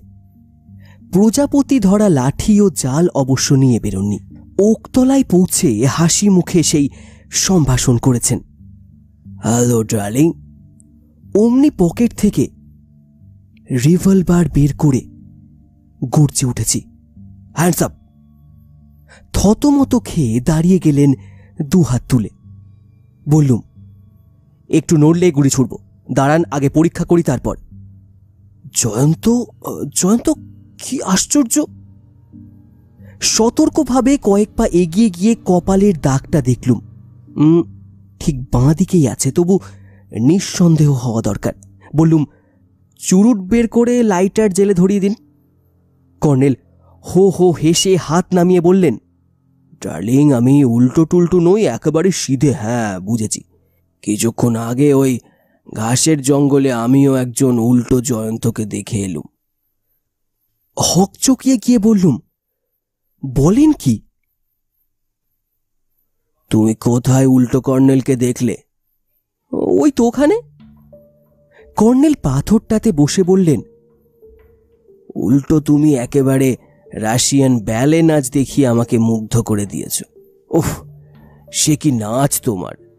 বল শোয়ের স্টেজে অমন হংস নৃত্য নাচলে রুশ নাচিয়েদের মাথা হেঁট হয়ে যেত। উল্টো আপনি কিন্তু বদ্ধ পাগল। তা স্বাভাবিক। সিধে আমির মধ্যে কিছু পাগলামি থাকা যখন সম্ভব। পাপস মুখে পাগলাটে হাসি, চোখে পাগলাটি চাহনি। ওজরাক যেই হোক আমাদের নিয়ে তামাশা শুরু করে দিয়েছে। কর্নেল চুরুট বের করে অভ্যস্ত ভঙ্গিতে জেলে নিলেন। ধোয়ার মধ্যে ফের বললেন, আমার সব থিওরি তাসের ঘরের মতো ভেঙে পড়ছে, জয়ন্ত।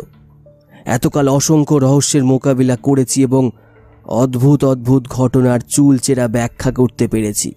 কিন্তু এবার যে রহস্যের সামনে এসে পড়েছি তার সম্ভবত কোনো পার্থিব ব্যাখ্যা নেই। অবাক হয়ে বললুম, তাহলে কি আপনি জিনের অস্তিত্বে বিশ্বাসী হলেন, কর্নেল? জানি না, সত্যি কিছু জানি না। আমার প্রাজ্ঞ বন্ধুকে এমন হতাশাগ্রস্ত কখনো দেখিনি। সারা দুপুর তাকে ভীষণ গম্ভীর ও চিন্তাকুল দেখছিলুম। গুর্জরদের সামাজিক ভোজে গিয়ে উনি নামমাত্র আহার করলেন। প্রকাণ্ড চাপাটি, ভেড়ার মাংস, মধু, ছাগলের দুধ, শুকনো ফল, আয়োজনে কোনো ত্রুটি ছিল না। খাওয়ার পর উদ্দাম নাচ গান শুরু করল ওরা। রিয়াও খুব নাচল। এক ফাঁকে আমরা দুজনে কেটে পড়েছিলাম। তাঁবুতে একটু বিশ্রাম নেয়ার পর কর্নেল বললেন, ইচ্ছা ছিল রিয়াকে টোপ হিসাবে ব্যবহার করব, কিন্তু আর সাহস করে ঝুঁকি নিতে পারছি না। চলো, দুজনেই রওনা দিই। কথাটা বুঝতে পারলুম না। জিজ্ঞেস করে কোনো জবাব পেলুম না কর্নেলের। শুধু মনে পড়ল হালাকুকে কর্নেল সকালে বলেছিলেন, রিয়াকে নিয়ে সেই ইউএফও নামার জায়গায় যাবেন। মাইল তিনেক পাথুরে মাটি আর ঘাসের জঙ্গল ভেঙে যেখানে পৌঁছলুম, সেখান থেকে পূর্বে কান্দ্রা শহর এবং এসআরএল অবজারভেটরি ইত্যাদি পরিষ্কার দেখা যায়। পশ্চিমের পাহাড়ে আজও সেই আলোর অপরূপ নানা রঙের খেলা দেখা যাচ্ছিল। কর্নেল বললেন, কাল রাত্রে মনে হচ্ছিল ইউএফও নামার জায়গাটা এত দূরে নয়। নেহাত চোখের ভুল। দেখতে পাচ্ছ জয়ন্ত, কতখানি জায়গায় ঘাস পুড়ে ছাই হয়ে গেছে। প্রায় তিরিশ বর্গমিটার জায়গা কালো হয়ে আছে।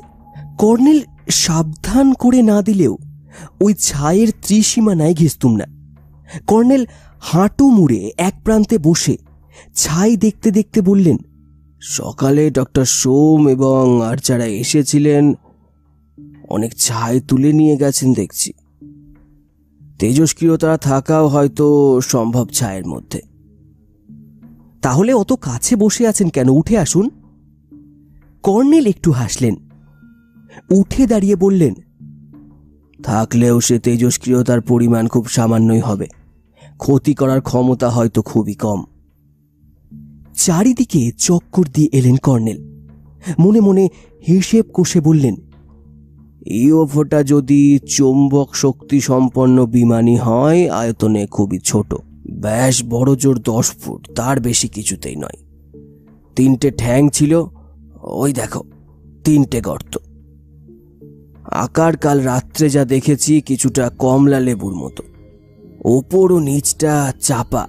আমার তো মনে হচ্ছিল ফ্যানের বডি অংশটার মতো। কতকটা তাই বটে। কর্নেল ঘুরে পেছনে কি দেখছিলেন? কে ওটা? বলে এগিয়ে গেলেন। তারপর হেট হয়ে যে জিনিসটা কুড়িয়ে নিলেন, সেটা আমার পরিচিত। উজরাকের পাঞ্জা।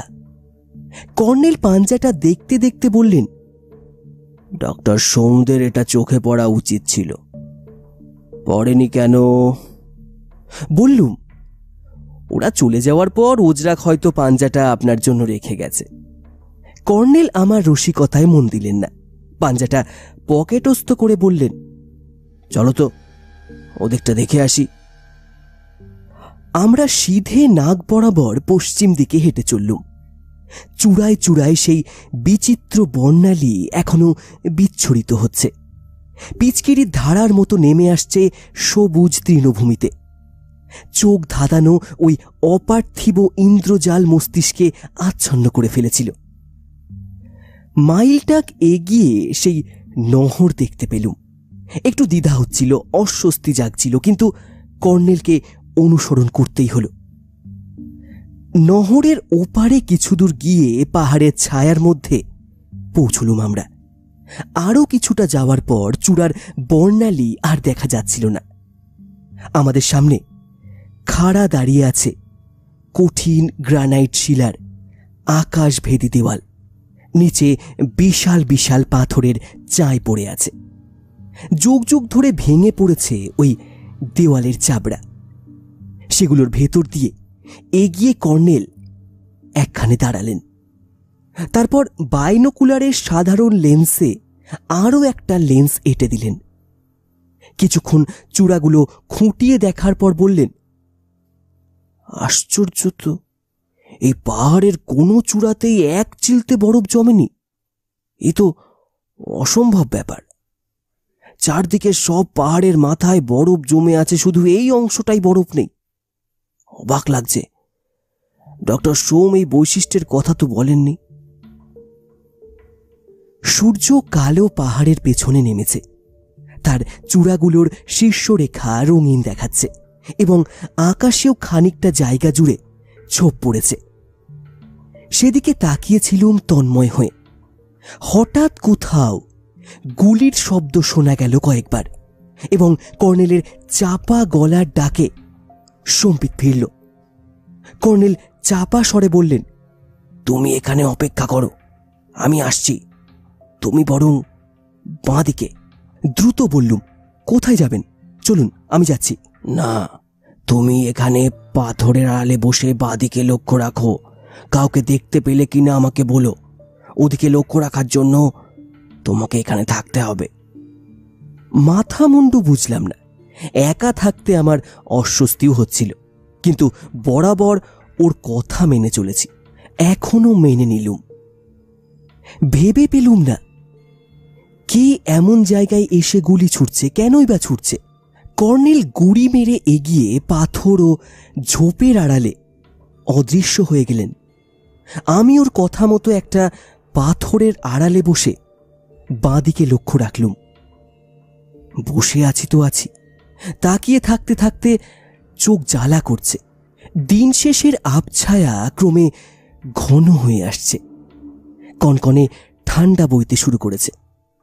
কিন্তু কর্নেলের যেমন ফেরার নাম নেই, তেমনি বাঁদিক তাকিয়ে এতক্ষণ কারোর টিকিটি পর্যন্ত চোখে পড়েনি।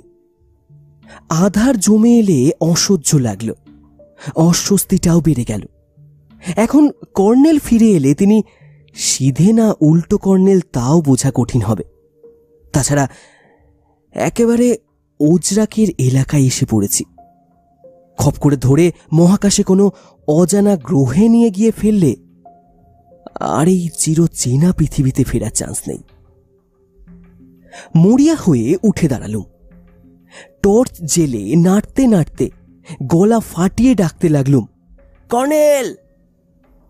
কর্নেল! সত্যি বলতে কি এই ডাকাডাকি নেহাত আতঙ্কের চোটেই। কোনো সাড়া এলো না। আরও বার কতক ডেকে হঠাৎ মাথায় এলো। কর্নেলের নিশ্চয়ই কোনো বিপদ ঘটেছে।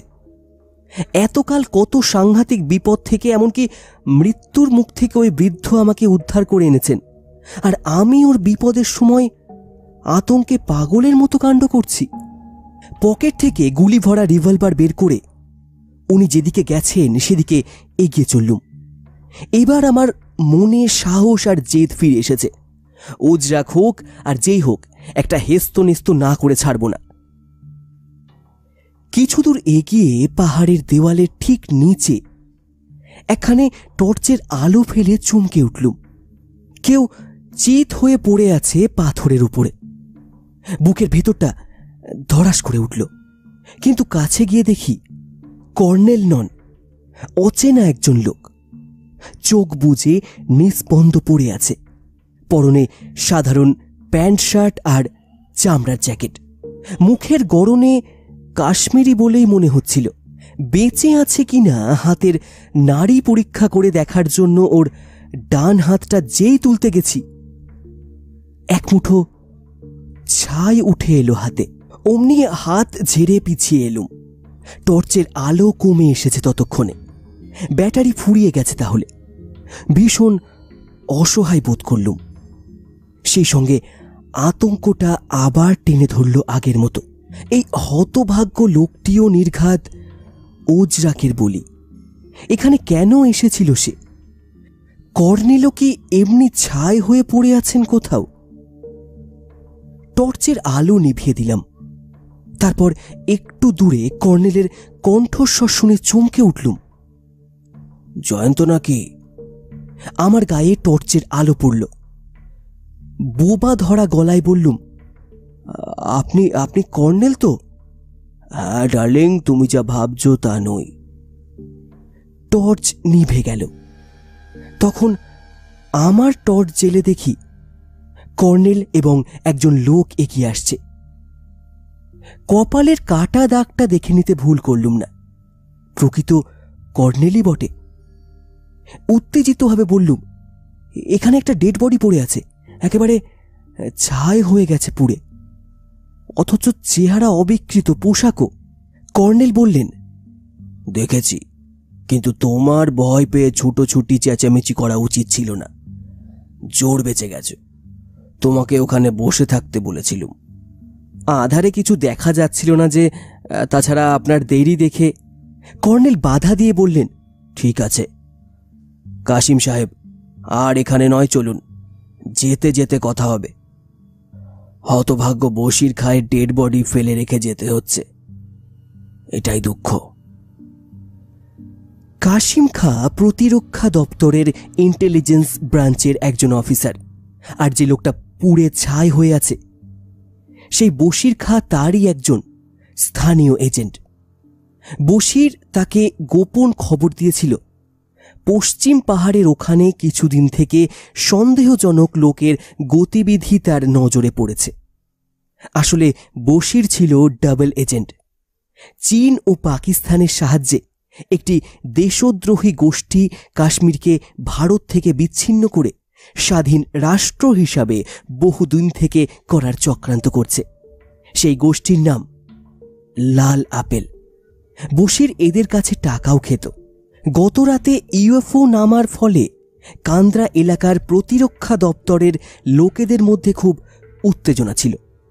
বসির এই সুযোগে কাশিম খাঁকে পশ্চিম পাহাড়তলিতে যেতে বলেছিল মিথ্যা খবর দিয়ে। সেখানে ওত পেতে বসেছিল লাল আপেলের একজন ঘাতক। কিন্তু তারপরে ঘটেছিল ভারী অদ্ভুত ঘটনা। কাশিম খাঁ যখন বশিরের কথা মতো নির্দিষ্ট জায়গায় পৌঁছেছেন, দেখলেন বশির পাহাড়ের খাড়া দেওয়ালের নিচে দাঁড়িয়ে তাকে ইশারায় ডাকছে। এই রকমই অবশ্য কথা ছিল, কিন্তু কাশিম খা ওর কাছে যাওয়ার জন্য সবে পা বাড়িয়েছেন। হঠাৎ দেওয়াল ফুঁড়ে এক ঝলক বিদ্যুৎ খেলে গেল যেন। আর সঙ্গে সঙ্গে বসির পড়ে গেল নিঃশব্দে। বিদ্যুতের ঝলকাটা বড়জোর এক সেকেন্ডের জন্য। কাশিম খা থমকে দাঁড়িয়েছিলেন। তারপর দেখলেন, বসিরের বাঁ দিকে একটা পাথরের আড়াল থেকে একজন লোক পড়িমুড়ি করে দৌড়ে পালাচ্ছে। তার মাথায় লাল রুমাল বাঁধা। সঙ্গে সঙ্গে কাশিম খা বুঝতে পেরেছিলেন, লোকটি লাল আপেল। তাই রিভলভার তাক করে গুলি ছুঁড়েছিলেন। কাশিম খার তাড়া খেয়ে সে লুকিয়ে পড়েছিল। এই সময় কাশিম খা কর্নেলকে ছুটে আসতে দেখেন। দিন শেষের আবছা আলোয় কর্নেলকে দেখে তিনি ভাগ্যিস চিনতে পেরেছিলেন, নইলে কর্নেলকে গুলি খেয়ে পড়ে থাকতে হতো। ততক্ষণে কাশিম খা বশিরের মতলব বুঝতে পেরেছেন। কর্নেল এবং তিনি সেই লাল আপেল ঘাতককে খুঁজতে থাকেন। কিন্তু লোকটাকে খুঁজে পাওয়া যায় না। তার কিছুক্ষণ পরেই আমি কর্নেলের খোঁজে সেখানে গিয়ে পড়ি। কাশিম খার রিভলভারের গুলি খেয়ে আমাকেও চিত হয়ে পড়ে থাকতে হতো। ভাগ্যিস, কর্নেল তাকে বাধা দিয়েছিলেন।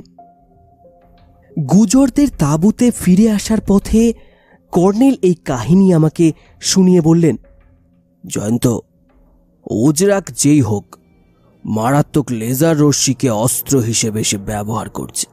তবে আমরা লেজার অস্ত্র বলতে যা বুঝি তার চেয়ে উন্নত মানের এবং সাংঘাতিক তার অস্ত্র। কিন্তু বশিরের ওপর তার রাগের কারণ কি? কাশিম খাঁ হাসতে হাসতে বললেন বসির কোনো বেয়াদপি করে থাকবে তার সঙ্গে। কর্নেল বললেন, আপনার জিপ তো লেকের কাছে। তাহলে কিছুক্ষণ আমাদের তাঁবুতে কাটিয়ে যান। কাশিম খা বললেন, আজ থাক কর্নেল, দেরি হয়ে যাবে, এখনই ফিরে গিয়ে আমাকে এই ঘটনার রিপোর্ট দিতে হবে। তাছাড়া গুজরদের তাঁবুতে আমার যাওয়া ঠিক নয়। ওদের মধ্যেও লাল আপেলের চড় আছে। বলেন কি? সেই রকম খবর আছে আমাদের হাতে, আপনারা একটু সাবধানে থাকবেন। একটু দূরে গুজরদের তাঁবুতে আলো দেখা যাচ্ছিল। কাশিম খাঁ বিদায় নিয়ে অন্ধকারে উধাও হয়ে গেলেন। ভদ্রলোকের সাহসের প্রশংসা করতে হয়। এমন কাণ্ডের পর নার্ভ ঠিক রেখেছেন এবং অন্ধকারে ঘাসের জঙ্গল আর পাথরের দুর্গমতা পেরিয়ে অকুত ভয়ে কেমন হেঁটে গেলেন। ওক গাছটা ফাঁকা জায়গায় কালো হয়ে দাঁড়িয়ে আছে। তলায় একটা কাঠ পুঁতে মশাল জেলে বেঁধে রেখেছে হালাকু। পাথরটাতে বসে বোধ হয় আমাদের তাঁবু পাহারা দিচ্ছে সে। হাতে বললুম, আমাদের দেখে সেলাম দিয়ে বলল, খুব ভাবনায় ছিলাম হুজুর। যাকে দেওতাজির কৃপায় ভালোই ভালোই ফিরতে পেরেছেন। রাত এগারোটা অবধি ওদের তাঁবুর ওদিকে নাচ গান চলল। শুকনো ঘাসের ওপর চামড়ার বিছানা আর বালিশে শুয়ে অনভ্যাসের দরুন ঘুম অসম্ভব ব্যাপার। কর্নেলের রীতিনীতি আলাদা। উনি গাছের ডালে শুয়েও নাক ডাকিয়ে ঘুমোতে পারেন দেখছি। শুয়ে ঘুম জড়ানো গলায় বললেন হামুখা মির্জা সাহেবকে কাগজে বিজ্ঞাপন দিতে পাঠালুম। এক গাদা টাকা গচ্চা যাবে। নিশুতি রাতে নবাবী রত্নালঙ্কারের লোভে কোনো চোর আসবে না। আসলে আমি ওজরাককে ভুল বুঝেছিলাম। Law of parity, nature left and টুইস্টের পদ্ধতি। নাক ডাকার মধ্যে কর্নেল যেন ঘুমের দেশে যেতে যেতে প্রলাপ বকছেন। বিরক্ত হয়ে ডাকলুম, কর্নেল কর্নেল! নাক ডাকা থামল। বললেন, বলো ডার্লিং কি শুধু ল অফ প্যারিটি প্যারিটি করছেন? আসল ব্যাপারটা কি? মিরর ইমেজ তৈরির কৌশল ওজরাক জানে। তা তো জানেই, সেটা আমি আর আপনি সচক্ষে দেখেছি, রিয়াও দেখেছিল। আবার নাক ডাকতে থাকল কর্নেলের। আমার খোঁচা খেয়ে জড়ানো গলায় শুধু বললেন জেরক্স মেশিনের মতো একটা ডুপ্লিকেটিং মেশিনই যথেষ্ট। তার সঙ্গে আই আর প্রজেক্টর কি বলছেন? Image reflection projector colonel please খুলে বলুন। তালে তালে নাক ডাকতে থাকল। আর হাত বাড়িয়ে খোঁচাখুচি করেও জাগাতে পারলুম না। শরীর তো নয়, পাথর। তাঁবুর সামনে হালাকু আগুনের কুণ্ড জেলে দিয়েছিল। এখনও আগুন যুগ যুগ করছে। ওদের নাচ গান থেমে গিয়েছে। নিঃশ্বার স্তব্ধ তৃণভূমিতে মাঝে মাঝে রাত পাখির ডাক শোনা যাচ্ছে। কখনো ঘুম জড়ানো গলায় কুকুরগুলো ডেকেই চুপ করে যাচ্ছে। হালাকু যে কম্বল দিয়েছে, সেটা খুবই কর্কশ। ভেড়ার লোম দড়ির মতো পাকিয়ে তৈরি। তার উপর আঠা দিয়ে একরাশ পশম এঁটেছে। কিন্তু যত নরম হোক কিংবা গরম হোক, অস্বস্তিকর। রাত বারোটার পর সেই পাহাড়ি ঝোড়ো হাওয়াটা শনশনিয়ে এসে গেল। ঘাসের জঙ্গলে ভুতুড়ে শব্দ হতে থাকল। আমাদের তাঁবুর মুখ পূর্ব দিকে। ঝড়টা বইছে পশ্চিম থেকে। কিন্তু তা সত্ত্বেও তাঁবুর তলা দিয়ে কনকনে বিচ্ছিরি হাওয়া ঢুকে তোলপাড় জুড়ে দিল। তাঁবুটাই মাঝে মাঝে উড়ে যাওয়ার ভঙ্গি করছে। চুপচাপ কম্বলের ভেতর সেটে থাকলুম। হঠাৎ খেয়াল হলো, হালাকু বলে গেছে কুণ্ডের আগুনটা যেন শোয়ার আগে নিভিয়ে ফেলি, কারণ রাতের ঝড়টা এলে অঙ্গার উড়ে ঘাসের জঙ্গলে পড়বে এবং আগুন ধরে যাবে। পর্দার ফাঁকে উকি মেরে দেখি, ঝড়ের ধাক্কায় প্রায় নিভে যাওয়া আগুন চাঙ্গা হয়ে উঠেছে এবং ফুলকি ছড়াচ্ছে চিরবিড়িয়ে। দেখা মাত্র বেরিয়ে গেলুম। পাশেই জল ভরা মাটির পাত্র আছে। পাত্র থেকে জল ঢেলে আগুনের কুণ্ডুটা নিভিয়ে দিলুম। তারপর হেট হয়ে তাঁবুতে ঢুকতে যাচ্ছি। মাথার পেছনে খটাস করে আঘাত লাগল। প্রচণ্ড আঘাত। মাথা ঘুরে গেল। এক সেকেন্ডের জন্য মনে হলো তাঁবুর কাঠেই হয়তো ধাক্কা লেগেছে। তারপর কি হয়েছে, জানি না। চোখ খুলে কিছু বুঝতে পারছিলুম না। একটা বন্ধ পাথরের ঘর, ঢালু মতো এবড়ো খেবড়ো তার ছাদ এবং একটা গোল ঘুলঘুলি দিয়ে দিনের আলো এসে পড়ছে। দুজন লোক একপাশে বসে ফ্লাক্স থেকে চা বা কফি ঢেলে খাচ্ছে। তাদের মাথায় লাল রুমাল বাঁধা। পাশে দুটো স্টেন গান পড়ে আছে। অমনি মনে পড়ে গেল, লাল আপেলের কথা। উঠে বসার চেষ্টা করলুম, কিন্তু মাথায় যন্ত্রণা। অনেক কষ্টে অবশ্য উঠতে পারলুম। লোক দুটো কুতকুতে চোখে আমার দিকে তাকিয়ে পাত্রে চুমুক দিচ্ছিল। একজন দুর্বোধ্য ভাষায় অপরজনকে কিছু বলল। অপরজন মাথা নাড়ল। প্রথম জন আমাকে ভাঙা ভাঙা হিন্দিতে বলল, এই বাঙালি বুড়বাক, তুই কি খবরের কাগজের লোক? বললাম হ্যাঁ তোমরা আমাকে ধরে এনেছো কেন? তোকে আমাদের লড়াইয়ের কথা লিখে তোর কলকাতার কাগজে পাঠাতে হবে। কি লড়াই তোমাদের? কাশ্মীরের লোক চাই স্বাধীন কাশ্মীর, তাই তারা লড়াই করছে। হাসবার চেষ্টা করে বললুম কাশ্মীরের লোক ভারতে থাকতে চাই। কাশ্মীর ভারতেরই অংশ, তাই স্বাধীনতার পর এতকাল ধরে তারা ভোট দিয়ে ভারতের অন্যান্য রাজ্যের মতো সরকার করছে স্বাধীন কাশ্মীর চাইলে তারা কেউ ভোট দিত না, ভোট বয়কট করত। দ্বিতীয় লোকটি দাঁত খিচিয়ে বলল, ভোট দিচ্ছে তারা বাধ্য হয়ে। তোমাদের সঙ্গে তর্ক করার ইচ্ছা নেই, কারণ তোমরা মিথ্যাবাদী। দ্বিতীয় লোকটি আমার চোয়ালে ঘুষি মারল। প্রথম লোকটি তাকে বাধা দিয়ে বলল, মেজাজ রাখো দোস্ত, এই বুড়বাক, শোন। কাশ্মীরি বুড়বাকরাই ভোট দিচ্ছে। তুই আমাদের ন্যায্য লড়াইয়ের কথা লিখে দস্তখস্ত করে দিবি। আমাদের লোক কলকাতায় তোর কাগজের ঠিকানায় পাঠিয়ে দেবে। আমি লিখলেও তা ছাপা হবে না। দুজনেই একটু অবাক হলো। প্রথমজন বলল, কেন ছাপা হবে না? তুই তো তোর কাগজের রিপোর্টার। যা পাঠাবি তাই ছাপা হবে। না হবে না। খবরের কাগজ যা খুশি ছাপাতে পারে না। দ্বিতীয় লোকটি খাপ্পা হয়ে উঠে দাঁড়াল। বলল, বলেছিলাম দোস্ত, এভাবে কাজ হবে না ওকে। পাহাড় থেকে ধাক্কা মেরে ফেলে দি, চাল।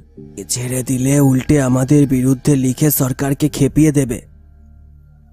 প্রথম লোকটি কাঁধের ব্যাগ থেকে একটা কাগজ বের করে আমাকে দিল। ইংরেজিতে টাইপ করা কাগজ।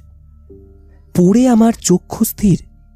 আমি দৈনিক সত্যসেবককে খবর পাঠাচ্ছি। কাশ্মীরের জনগণের সঙ্গে কথা বলে বুঝতে পেরেছি তারা স্বাধীন কাশ্মীর চায় ইত্যাদি ইত্যাদি। বুঝলুম, লাল আপেলের উগ্রপন্থীরা রীতিমতো শিক্ষিত এবং চতুর লোক সব খবর ওদের নক্ষদর্পণে। প্রথম লোকটি বলল, দাস্তাখাত করে দে। কাগজটা ছিঁড়ে ওর মুখে ছুঁড়ে মারলুম। সঙ্গে সঙ্গে সে উঠে দাঁড়াল। সঙ্গীকে কিছু বলল না, তারপর দুজন আমাকে হ্যাচকা টানে উঠালো ঠেলতে ঠেলতে নিয়ে চলল। দরজার সামনে একটা চাতাল মতো। সেখানে গিয়েই আমার বুক কেঁপে উঠল, মাথা ঘুরতে থাকল। চারিদিকে খাড়া সব পাহাড় এবং সামনে অতল খাদ। সেই খাদের নিচে অন্ধকার থমথম করছে। তাহলে এবার নরকে গিয়ে রিপোর্টারি কর, বলে দুজনেই আমাকে প্রচণ্ড ধাক্কা মারল। গড়িয়ে পড়লুম শূন্যে। আত্মনাদ করলুম কি? জানি না। শুধু টের পাচ্ছিলুম, অনন্তকাল ধরে শূন্যে তলিয়ে যাচ্ছি এবং নিচে থমথমে অন্ধকার হাঁ করে আছে। হঠাৎ কিসের ছোঁয়া লাগল? খুব আরামদায়ক নরম জিনিসে আটকে গেলুম, অথবা কোনো অলৌকিক বিশাল করতল আমাকে লুফে নিল, কোনো ঝাঁকুনি পর্যন্ত লাগল না। আস্তে আস্তে চোখ খুলে তাকালুম। একটা বিস্ময়কর পরিবেশ। এটা একটা ঘরই বটে, কিন্তু চারপাশের দেওয়াল ও ছাদ অনুজ্জ্বল নানা রঙের আলো দিয়ে যেন তৈরি। এত রং, অথচ চোখ ধাঁধিয়ে যাচ্ছে না। কিন্তু তার চেয়ে আশ্চর্য ব্যাপার, আমি শূন্যে চিত হয়ে ভাসছি। পিঠের নিচে কিছু নেই। আমার সামনে একটু তফাতে দাঁড়িয়ে আছে। একটা মানুষের গড়নের পুতুল। হ্যাঁ পুতুলই বটে। সাদা কাঁচের পুতুল। তার সারা দেহ নানান রঙের আলো স্রোত বইছে। তার পরনে কোনো পোশাক নেই অথবা ওই হরেক রঙা চঞ্চল আলোই তার পোশাক। বর্ণনা দেয়া অসম্ভব। তার মুখটা পুতুলের মুখের মতো আঁকানো। চুলগুলো লাল, চোখ দুটো নীল, ঠোঁট দুটো লাল। তার চোখের ওপর ভুড়ো বলতে কিছু নেই, অথচ কি সুন্দর তার চেহারা। পৃথিবীর শ্রেষ্ঠ শিল্পীর তুলিতে আঁকা একটা ছবি। সোজা হয়ে দাঁড়ানোর চেষ্টা করলাম, পারলুম না। যতবার পা দুটো নিচের মেঝের দিকে নিয়ে যাচ্ছি, আবার ভেসে উঠছি। এবার মনে হলো আমি ভরশূন্য অবস্থায় আছি সম্ভবত। মহাকাশযানের ভেতর মহাকাশচারীদের এমনি অবস্থা টিভিতে কতবার দেখেছি। তারপর টের পেলুম, ওই রঙিন পুতুলের মতো প্রাণীটা আমাকে কিছু বলছে। তার ঠোঁট দুটো কিন্তু নড়ছে না, অথচ আমার মাথার ভেতর ওর কথা ভেসে উঠছে। অনুভূতি মালার মধ্যে দিয়ে, সে বলছে, তোমার কোনো ক্ষতি করব না, ভয় পেও না। আর দেখো আমি তোমার সঙ্গে স্নায়বিক তরঙ্গের ভাষায় কথা বলছি। তুমিও বলার চেষ্টা করো। আমি বুঝতে পারব। নাও, চেষ্টা করো। ফ্যাল ফ্যাল করে তাকিয়ে রইলুম, স্নায়বিক তরঙ্গের ভাষাটা আবার কেমন? ফ্যাল ফ্যাল করে তাকিয়ে রইলুম। স্নায়বিক তরঙ্গের ভাষাটা আবার কেমন? বন্ধু, ব্রেন ওয়েবের কথাই আমি বলছি। মনকে তোমার বক্তব্যের দিকে একাগ্র করতে হবে। তুমি যা বলতে চাইবে, তার সঙ্গে অন্য চিন্তাকে এনে ফেলো না। চেষ্টা করে দেখো, পারবে। মনকে একাগ্র করে চিন্তার মধ্যে বললুম, তুমি কে বন্ধু? অজরাক চমকে উঠলুম, তুমি তাহলে উজরাক আমার স্নায়ু তরঙ্গে উজরাকের হাসি প্রতিধ্বনিত হচ্ছিল। চিন্তা দিয়ে বললুম, আমাকে কোথায় এনেছ? আমার পৃথিবীর ঘাটিতে, কান্দ্রার পশ্চিম পাহাড়ে। আর কোথায় আছে তোমাদের ঘাটি? তোমাদের জানা গ্রহ বৃহস্পতিতে। তো তোমার দেশ কোথায়? আলফা সেন্টুরির একটি গ্রহে, এখান থেকে চার দশমিক তিন আলোকবর্ষ দূরে। এ অবশ্য তোমাদের হিসাব। তোমাদের সময়ের মাপের সঙ্গে আমাদের সময়ের মাপের কোনো মিল নেই। তুমি কি পাঞ্জা ফেলে রাখো যেখানে সেখানে? হ্যাঁ তোমাদের মনে কৌতূহল সৃষ্টির জন্য যদি কেউ যোগাযোগ করে সেই ভেবে। কান্দ্রার নবাবের নূরে আলম কি তুমি নিয়ে এসেছ? হ্যাঁ জিনিসটা আমারই অসাবধানে পড়ে গিয়েছিল। একটা লোক কুড়িয়ে নিয়ে গিয়েছিল। তোমাদের সময়ের হিসাবে এই ঘটনা দুশো বছর আগেকার। যাই হোক পরে জানতে পেরে রোবট পাঠিয়ে নিয়ে এসেছি। আমাদের বিভিন্ন জাদুঘর থেকে যেসব রত্ন আর মূর্তি চুরি গেছে, তাও কি তোমার কীর্তি? আমারই। কেন এসব করেছ? ওগুলোর বস্তু প্রতিবিম্ব সৃষ্টি করব বলে। কাজ হয়ে গেলেই ওগুলো ফেরত পাঠাবো। প্রতিবিম্ব কেন সৃষ্টি করবে? দেশে ফিরে গিয়ে সবাইকে দেখাবো। কিছু নিদর্শন নিয়ে যাওয়া তো উচিত।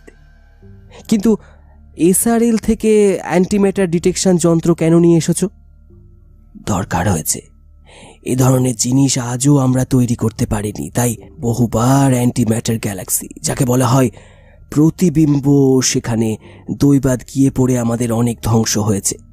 আমাদের শরীর আলোক কণিকায় গড়া, কিন্তু অ্যান্টি পার্টিকেল নয়। আলফা সেন্টুরা এলাকা এই গ্যালাক্সিরই অন্তর্ভুক্ত। তবে তোমাদের যন্ত্রটার বস্তু প্রতিবিম্ব তৈরি করে ফেরত পাঠাবো রোবটের হাতে। অন্যের জিনিস আমরা নিই না। নিলে তা ফেরত দিই। রোবট এনেছি সেই জন্যই। তোমরাও তাহলে রোবট তৈরি করেছ? বন্ধু, আমরা এই গ্যালাক্সির প্রাণী। পরিবেশের দরুন আমাদের দেহের উপাদানে যতই তফাৎ থাক, এই গ্যালাক্সিতে একই ধরনের সভ্যতার বিকাশ ঘটবে, এটাই প্রকৃতির নিয়ম। তবে তোমরা এখনও পিছনে পড়ে আছো। আমাদের যন্ত্র প্রাণী তোমাদের চেয়ে বহু উন্নত। তোমাদের খাদ্য কি? এনার্জি। নক্ষত্র থেকে এনার্জি সংগ্রহ করে আমাদের খাদ্য ভাণ্ডার করে তোলা হয়েছে। তুমি হাসছো কেন, বন্ধু? রিয়ার আর আমার বৃদ্ধ বন্ধুর প্রতিবিম্ব পাঠিয়েছিলে কেন? কৌতুক ছাড়া আর কোনো উদ্দেশ্য ছিল না। বসির খাকে মারলে কেন?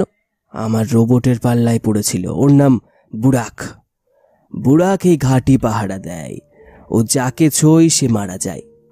পৃথিবীতে এসে বুড়াক বড় নিষ্ঠুর আর বদরাকি হয়ে গেছে, ওকে সামলানো যাচ্ছে না। রিয়াদের মদ্দা ভেড়াটা কি দোষ করেছিল? বুড়াক গাড়োয়ালটা দেখে অবাক হয়েছিল, তাই ছুঁয়ে দেখতে চেয়েছিল। বুড়াখের পায়ে কি ঘুঙুর বেঁধে রেখেছ? সে আবার কি জিনিস? ওটা যন্ত্রের শব্দ। আমার স্পেসশিপের মতো বুড়াকো ম্যাগনেটিক এলিমেন্টের তৈরি। আমাকে উদ্ধার করল কে? বুড়াক, আমার হুকুমে। আমি পুড়ে ছাই হইনি যে। আমি ওর ধ্বংস ক্ষমতা নিউট্রাল করে দিয়েছিলাম। আমাকে কি বন্দি করে রাখবে, বন্ধু? না। তোমার বস্তু প্রতিবিম্ব সৃষ্টি করে নিয়ে তারপর তোমাকে রেখে আসব। বলে উজরাক পেছনের আলোর দেয়ালের সঙ্গে মিশে গেল। এতক্ষণে আমার মাথাটা ঝিমঝিম করতে থাকল। তারপর চোখ বুজে এলো। চেষ্টা করেও চোখ খুলতে পারলুম না। শূন্যে ভাষার আরামদায়ক অনুভূতি আমাকে ঘুমের দিকে টানছিল। কেউ যেন দূর থেকে ডাকছিল।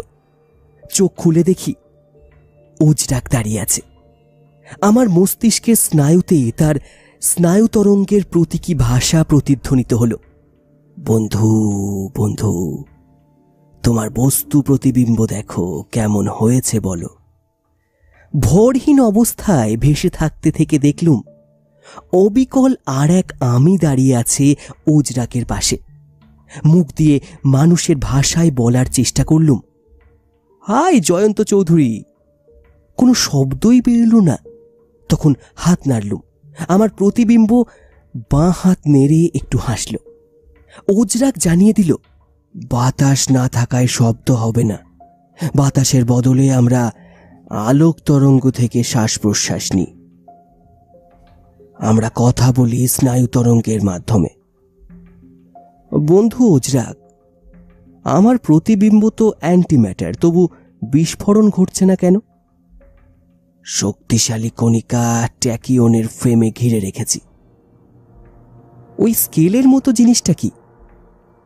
ডুপ্লিকেটিং মেশিন, ওটা বস্তু প্রতিবিম্ব তৈরি করে। রিয়ার, আমার আর কর্নেলের প্রতিবিম্ব তৈরি করেছিলে ওতে? হ্যাঁ তবে ওটার সঙ্গে আয়ার প্রজেক্টটা জুড়ে তবেই তোমাদের প্রতিবিম্ব পাঠাতে পেরেছিল ইমেজ রিফ্লেকশন প্রজেক্টার আমার বৃদ্ধ বন্ধু কর্নেল নীলাদ্রি সরকার এই যন্ত্রটার কথা বলেছিলেন বটে।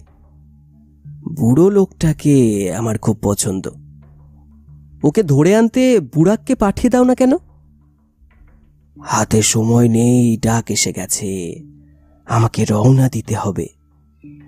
ওজরাকের চাঞ্চল্য অনুভব করছিলুম আমার স্নায়ুতে প্রচণ্ড চাপ লাগছিল। সে একটা হাত বাড়িয়ে দিল আমার দিকে। এবার দেখতে পেলুম, ওর হাতের তালু থেকে আঙুল পর্যন্ত আঁকা বাঁকা পাঁচটি সাদা রেখা ঝিকমিক করছে। বজ্রের প্রতীক। ভয়ে ভয়ে হাত বাড়িয়ে দিলুম। কোনো অনুভূতি জাগল না। মনে হলো না কিছু আঁকড়ে ধরেছি বা স্পর্শ করেছি। যেন শূন্যে করমর্দন করছি। কিন্তু চোখে দেখতে পাচ্ছি, তার হাতে আমার হাত। দুটো হাতই পরস্পর ঝাঁকুনি দিচ্ছি। স্নায়ু তরঙ্গের প্রতীকী ভাষায় বিদায় জানাচ্ছি পরস্পরকে। তারপর ওজরাক আলোর দেয়ালের দিকে ঘুরল। অমনি একটা বেটে মূর্তি বেরিয়ে এলো। সঠিক বর্ণনা অসম্ভব। বড়জোর বলা যায়, জল দিয়ে একটা বেটে ও চ্যাপটা পুতুল বানানো সম্ভব যদি হতো এইরকম দেখাতো। ওজরাক চিন্তার ভাষায় আদেশ দিল, বুড়াক, আমার পৃথিবীর বন্ধুকে রেখে দিয়ে এসো। বুড়াক আমাকে ধরল, তার শরীর তুলতুলে স্পঞ্জের মতো। আমার প্রতিবিম্ব মমির মতো দাঁড়িয়ে আছে। তার দিকে হাত নেড়ে চিন্তার ভাষায় বললুম বিদায়, জয়ন্ত চৌধুরী। হতচ্ছাড়া দ্বিতীয় জয়ন্ত কেন জানি না, গোমরা মুখে দাঁড়িয়ে রইল। নির্বাসনের দুঃখে কি উজরাক হাত তুলল। বিদায় বন্ধু, কেউ ডাকছিল, চোখ খুলেই ভরকে গেলুম। আমার ওপর ঝুঁকে আছে চির চেনা দাড়িওয়ালা একটা মুখ, মুখে সস্নেহ হাসি। কেমন বোধ করছ, ডার্লিং?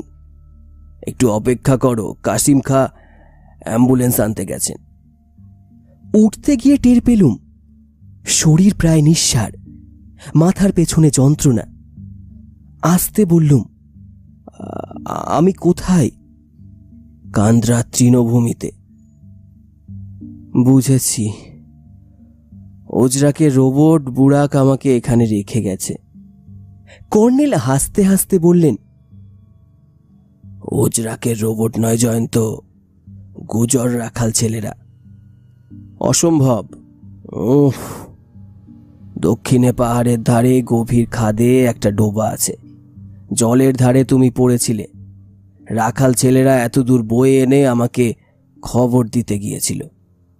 এবার দেখলুম চারপাশে ভিড় করে গুজররা দাঁড়িয়ে আছে। হালাকু এবং রিয়াও আছে। হালাকু ভয় পাওয়ার গলায় বলল, হুজুর, উনি ওজরাকের চেলা বুড়াখের নাম করছেন। ওঝা ডাকাই উচিত ছিল। রাগ করে বললুম ওজরাক আমার বন্ধু, তার সঙ্গে আমার দেখা হয়েছে। সে আলফা সেন্টুরি নক্ষত্র জগতের বাসিন্দা। সে এক আলোর মানুষ। কর্নেল নির্বিকারভাবে বললেন, আলোর নয়, নেহাতি রক্ত মাংসের তার নাম মুসা। কি বলছেন? কে মুসা? এক সময়কার আন্তর্জাতিক খ্যাতিসম্পন্ন পদার্থবিজ্ঞানী, কাশ্মীরের লোক। ল অফ প্যারিটি নিয়ে গবেষণার সুনাম ছিল। দুঃখের বিষয়, তিনি পরে কট্টর ভারত বিরোধী হয়ে পড়েন। লাল আপেল দল তারই গড়া। বললুম, আমি বিশ্বাস করি না ওজরাকের সঙ্গে আমার কত কথা হয়েছে? কথা কেড়ে কর্নেল বললেন। তুমি পাহাড় থেকে ডোবার জলে পড়ে অজ্ঞান হয়ে পড়েছিলে, ডার্লিং। অজ্ঞান অবস্থায় বোধ করি একটু উদ্ভট স্বপ্ন দেখেছ।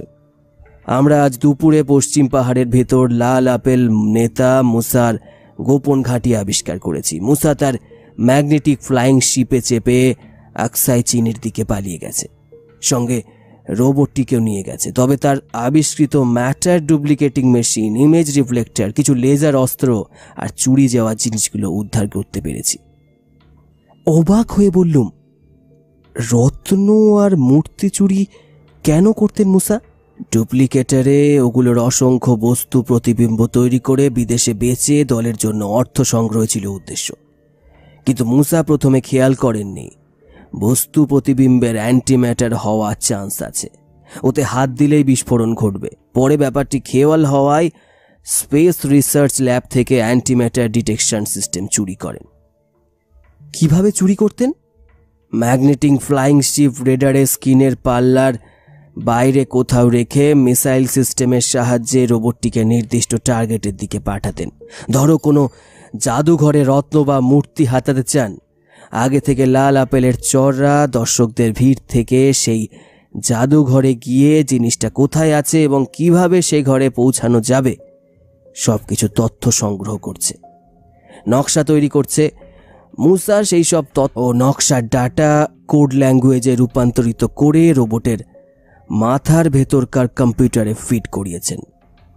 রোবটের বুকে টিভি ক্যামেরা ফিট করিয়ে দিয়েছেন। এবার রোবটটি কম্পিউটারের সাহায্যে টার্গেটে পৌঁছে কাজ করবে। লেজার বিমের তাপে ঘরে তালা গলাবে। লকারে রত্ন থাকলে লকার গলিয়ে ফেলবে। মূর্তির বেলায় অবশ্য কাজটা সহজ। যদি রোবট ভুল করে, সেজন্য সাবধানী মুসা ফ্লাইং শিপে বসে টিভি স্ক্রিনে লক্ষ্য রাখতেন। বেগতিক দেখলে রিমোট কন্ট্রোল সিস্টেমে রোবটকে সাহায্য করতেন। রোবটের সামনে মানুষ পড়লে রোবট লেজার বিম প্রয়োগ করে তাকে পুড়িয়ে ছাই করে দেবে। আশা করি পদ্ধতিটা বুঝতে পেরেছ।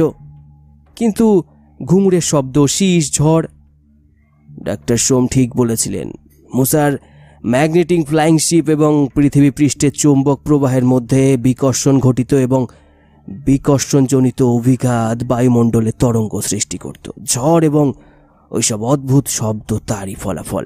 একটু চুপ করে থেকে বললুম, রিয়ার প্রতিবিম্ব, আমার বা আপনার প্রতিবিম্ব নিয়ে কি তামাশা করতেন মুসা?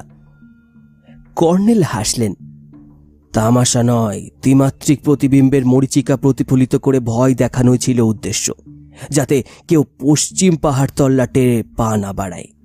উজরাকের কিংবদিন্তিকে কাজে লাগাতে চেষ্টা করেছেন মুসা। উজরাকের পাঞ্জাও কি ওর তৈরি? না, জয়ন্ত। ওগুলো ন্যাচারাল রক ফরমেশন হাজার হাজার বছর আগে এই এলাকায় উল্কা পড়েছিল। উল্কার উপাদান আর ভূপৃষ্ঠের শিলা উপাদানে বহু রাসায়নিক পদার্থ আছে। উভয়ের মিশ্রণে বিষক্রিয়ার ফলে ওই চাকতিগুলো ব্যাঙের ছাতার মতো সৃষ্টি হয়েছিল। শিলা ছত্রাক বলতে পারো। তবে মুসা এগুলো উজরাক রহস্যের নিদর্শন হিসাবে কাজে লাগাতেন। চোখে ধুলো দেওয়ার প্রচেষ্টা আর কি। সামরিক বাহিনীর অ্যাম্বুলেন্স এসে গেল। গুজরদের ভিড় হাঁটিয়ে কাশিম খাইলেন। সঙ্গে স্ট্রেচার নিয়ে দুজন স্বাস্থ্যকর্মী। স্ট্রেচারে যখন আমাকে ওঠানো হয়েছে, চোখ গেল পশ্চিমের পাহাড়ের দিকে। অমনি ঔজরাকের ইন্দ্রজাল দেখতে পেলুম। কি অপরূপ বর্ণবিচ্ছুরণ। ধারায় ধারায় নেমে আসছে অজস্র রঙের ঝর্ণা। কান্দ্রার তৃণভূমিকে স্বর্গের সৌন্দর্যে সাজিয়ে তুলেছে। কে বলে? ওজরাক নিছক স্বপ্ন? এই তো দেখতে পাচ্ছি। আঁকা বাঁকা বর্ণালী রেখায় স্পষ্ট ফুটে উঠেছে তার ছাপ। যে আলোয় আঙুল আমি দেখেছি, ওই তো তার বিস্ময়কর প্রতীক। তারপরে আমার হাসি পেল। স্বপ্নের উজরাক আমার প্রতিবিম্ব নিয়ে চলে গেছে চার দশমিক তিন আলোকবর্ষ দূরের আলফা সেন্টরি নক্ষত্রমণ্ডলে। এতক্ষণ কি সেখানে ওজরাকের ডাইনিং রুমে বসে দ্বিতীয় জয়ন্ত চৌধুরী খিদের চোটে গপ গপ করে এনার্জি খাচ্ছে? সে কি বুঝতে পারছে? সে বাহাতে খাচ্ছে এবং তার পিলে পেটের ডান দিকে চক্রিত বাঁ দিকে, হার্ট ডান দিকে। সে এক উল্টো মানুষ। তা না বুঝলে সে বড্ড বোকা। স্নায়ু তরঙ্গের ভাষায় ওজরাকের উদ্দেশ্যে বললুম, বন্ধু, জয়ন্তের ঘিলুতে অন্তত এক চামচ কসমিক ইন্টেলিজেন্সি মিশিয়ে দাও। সে বরাবর বড্ড বোকা। শুনছিলেন উজরাকের পাঞ্জা রচনায় সৈয়দ মুস্তফা সিরাজ। অসংখ্য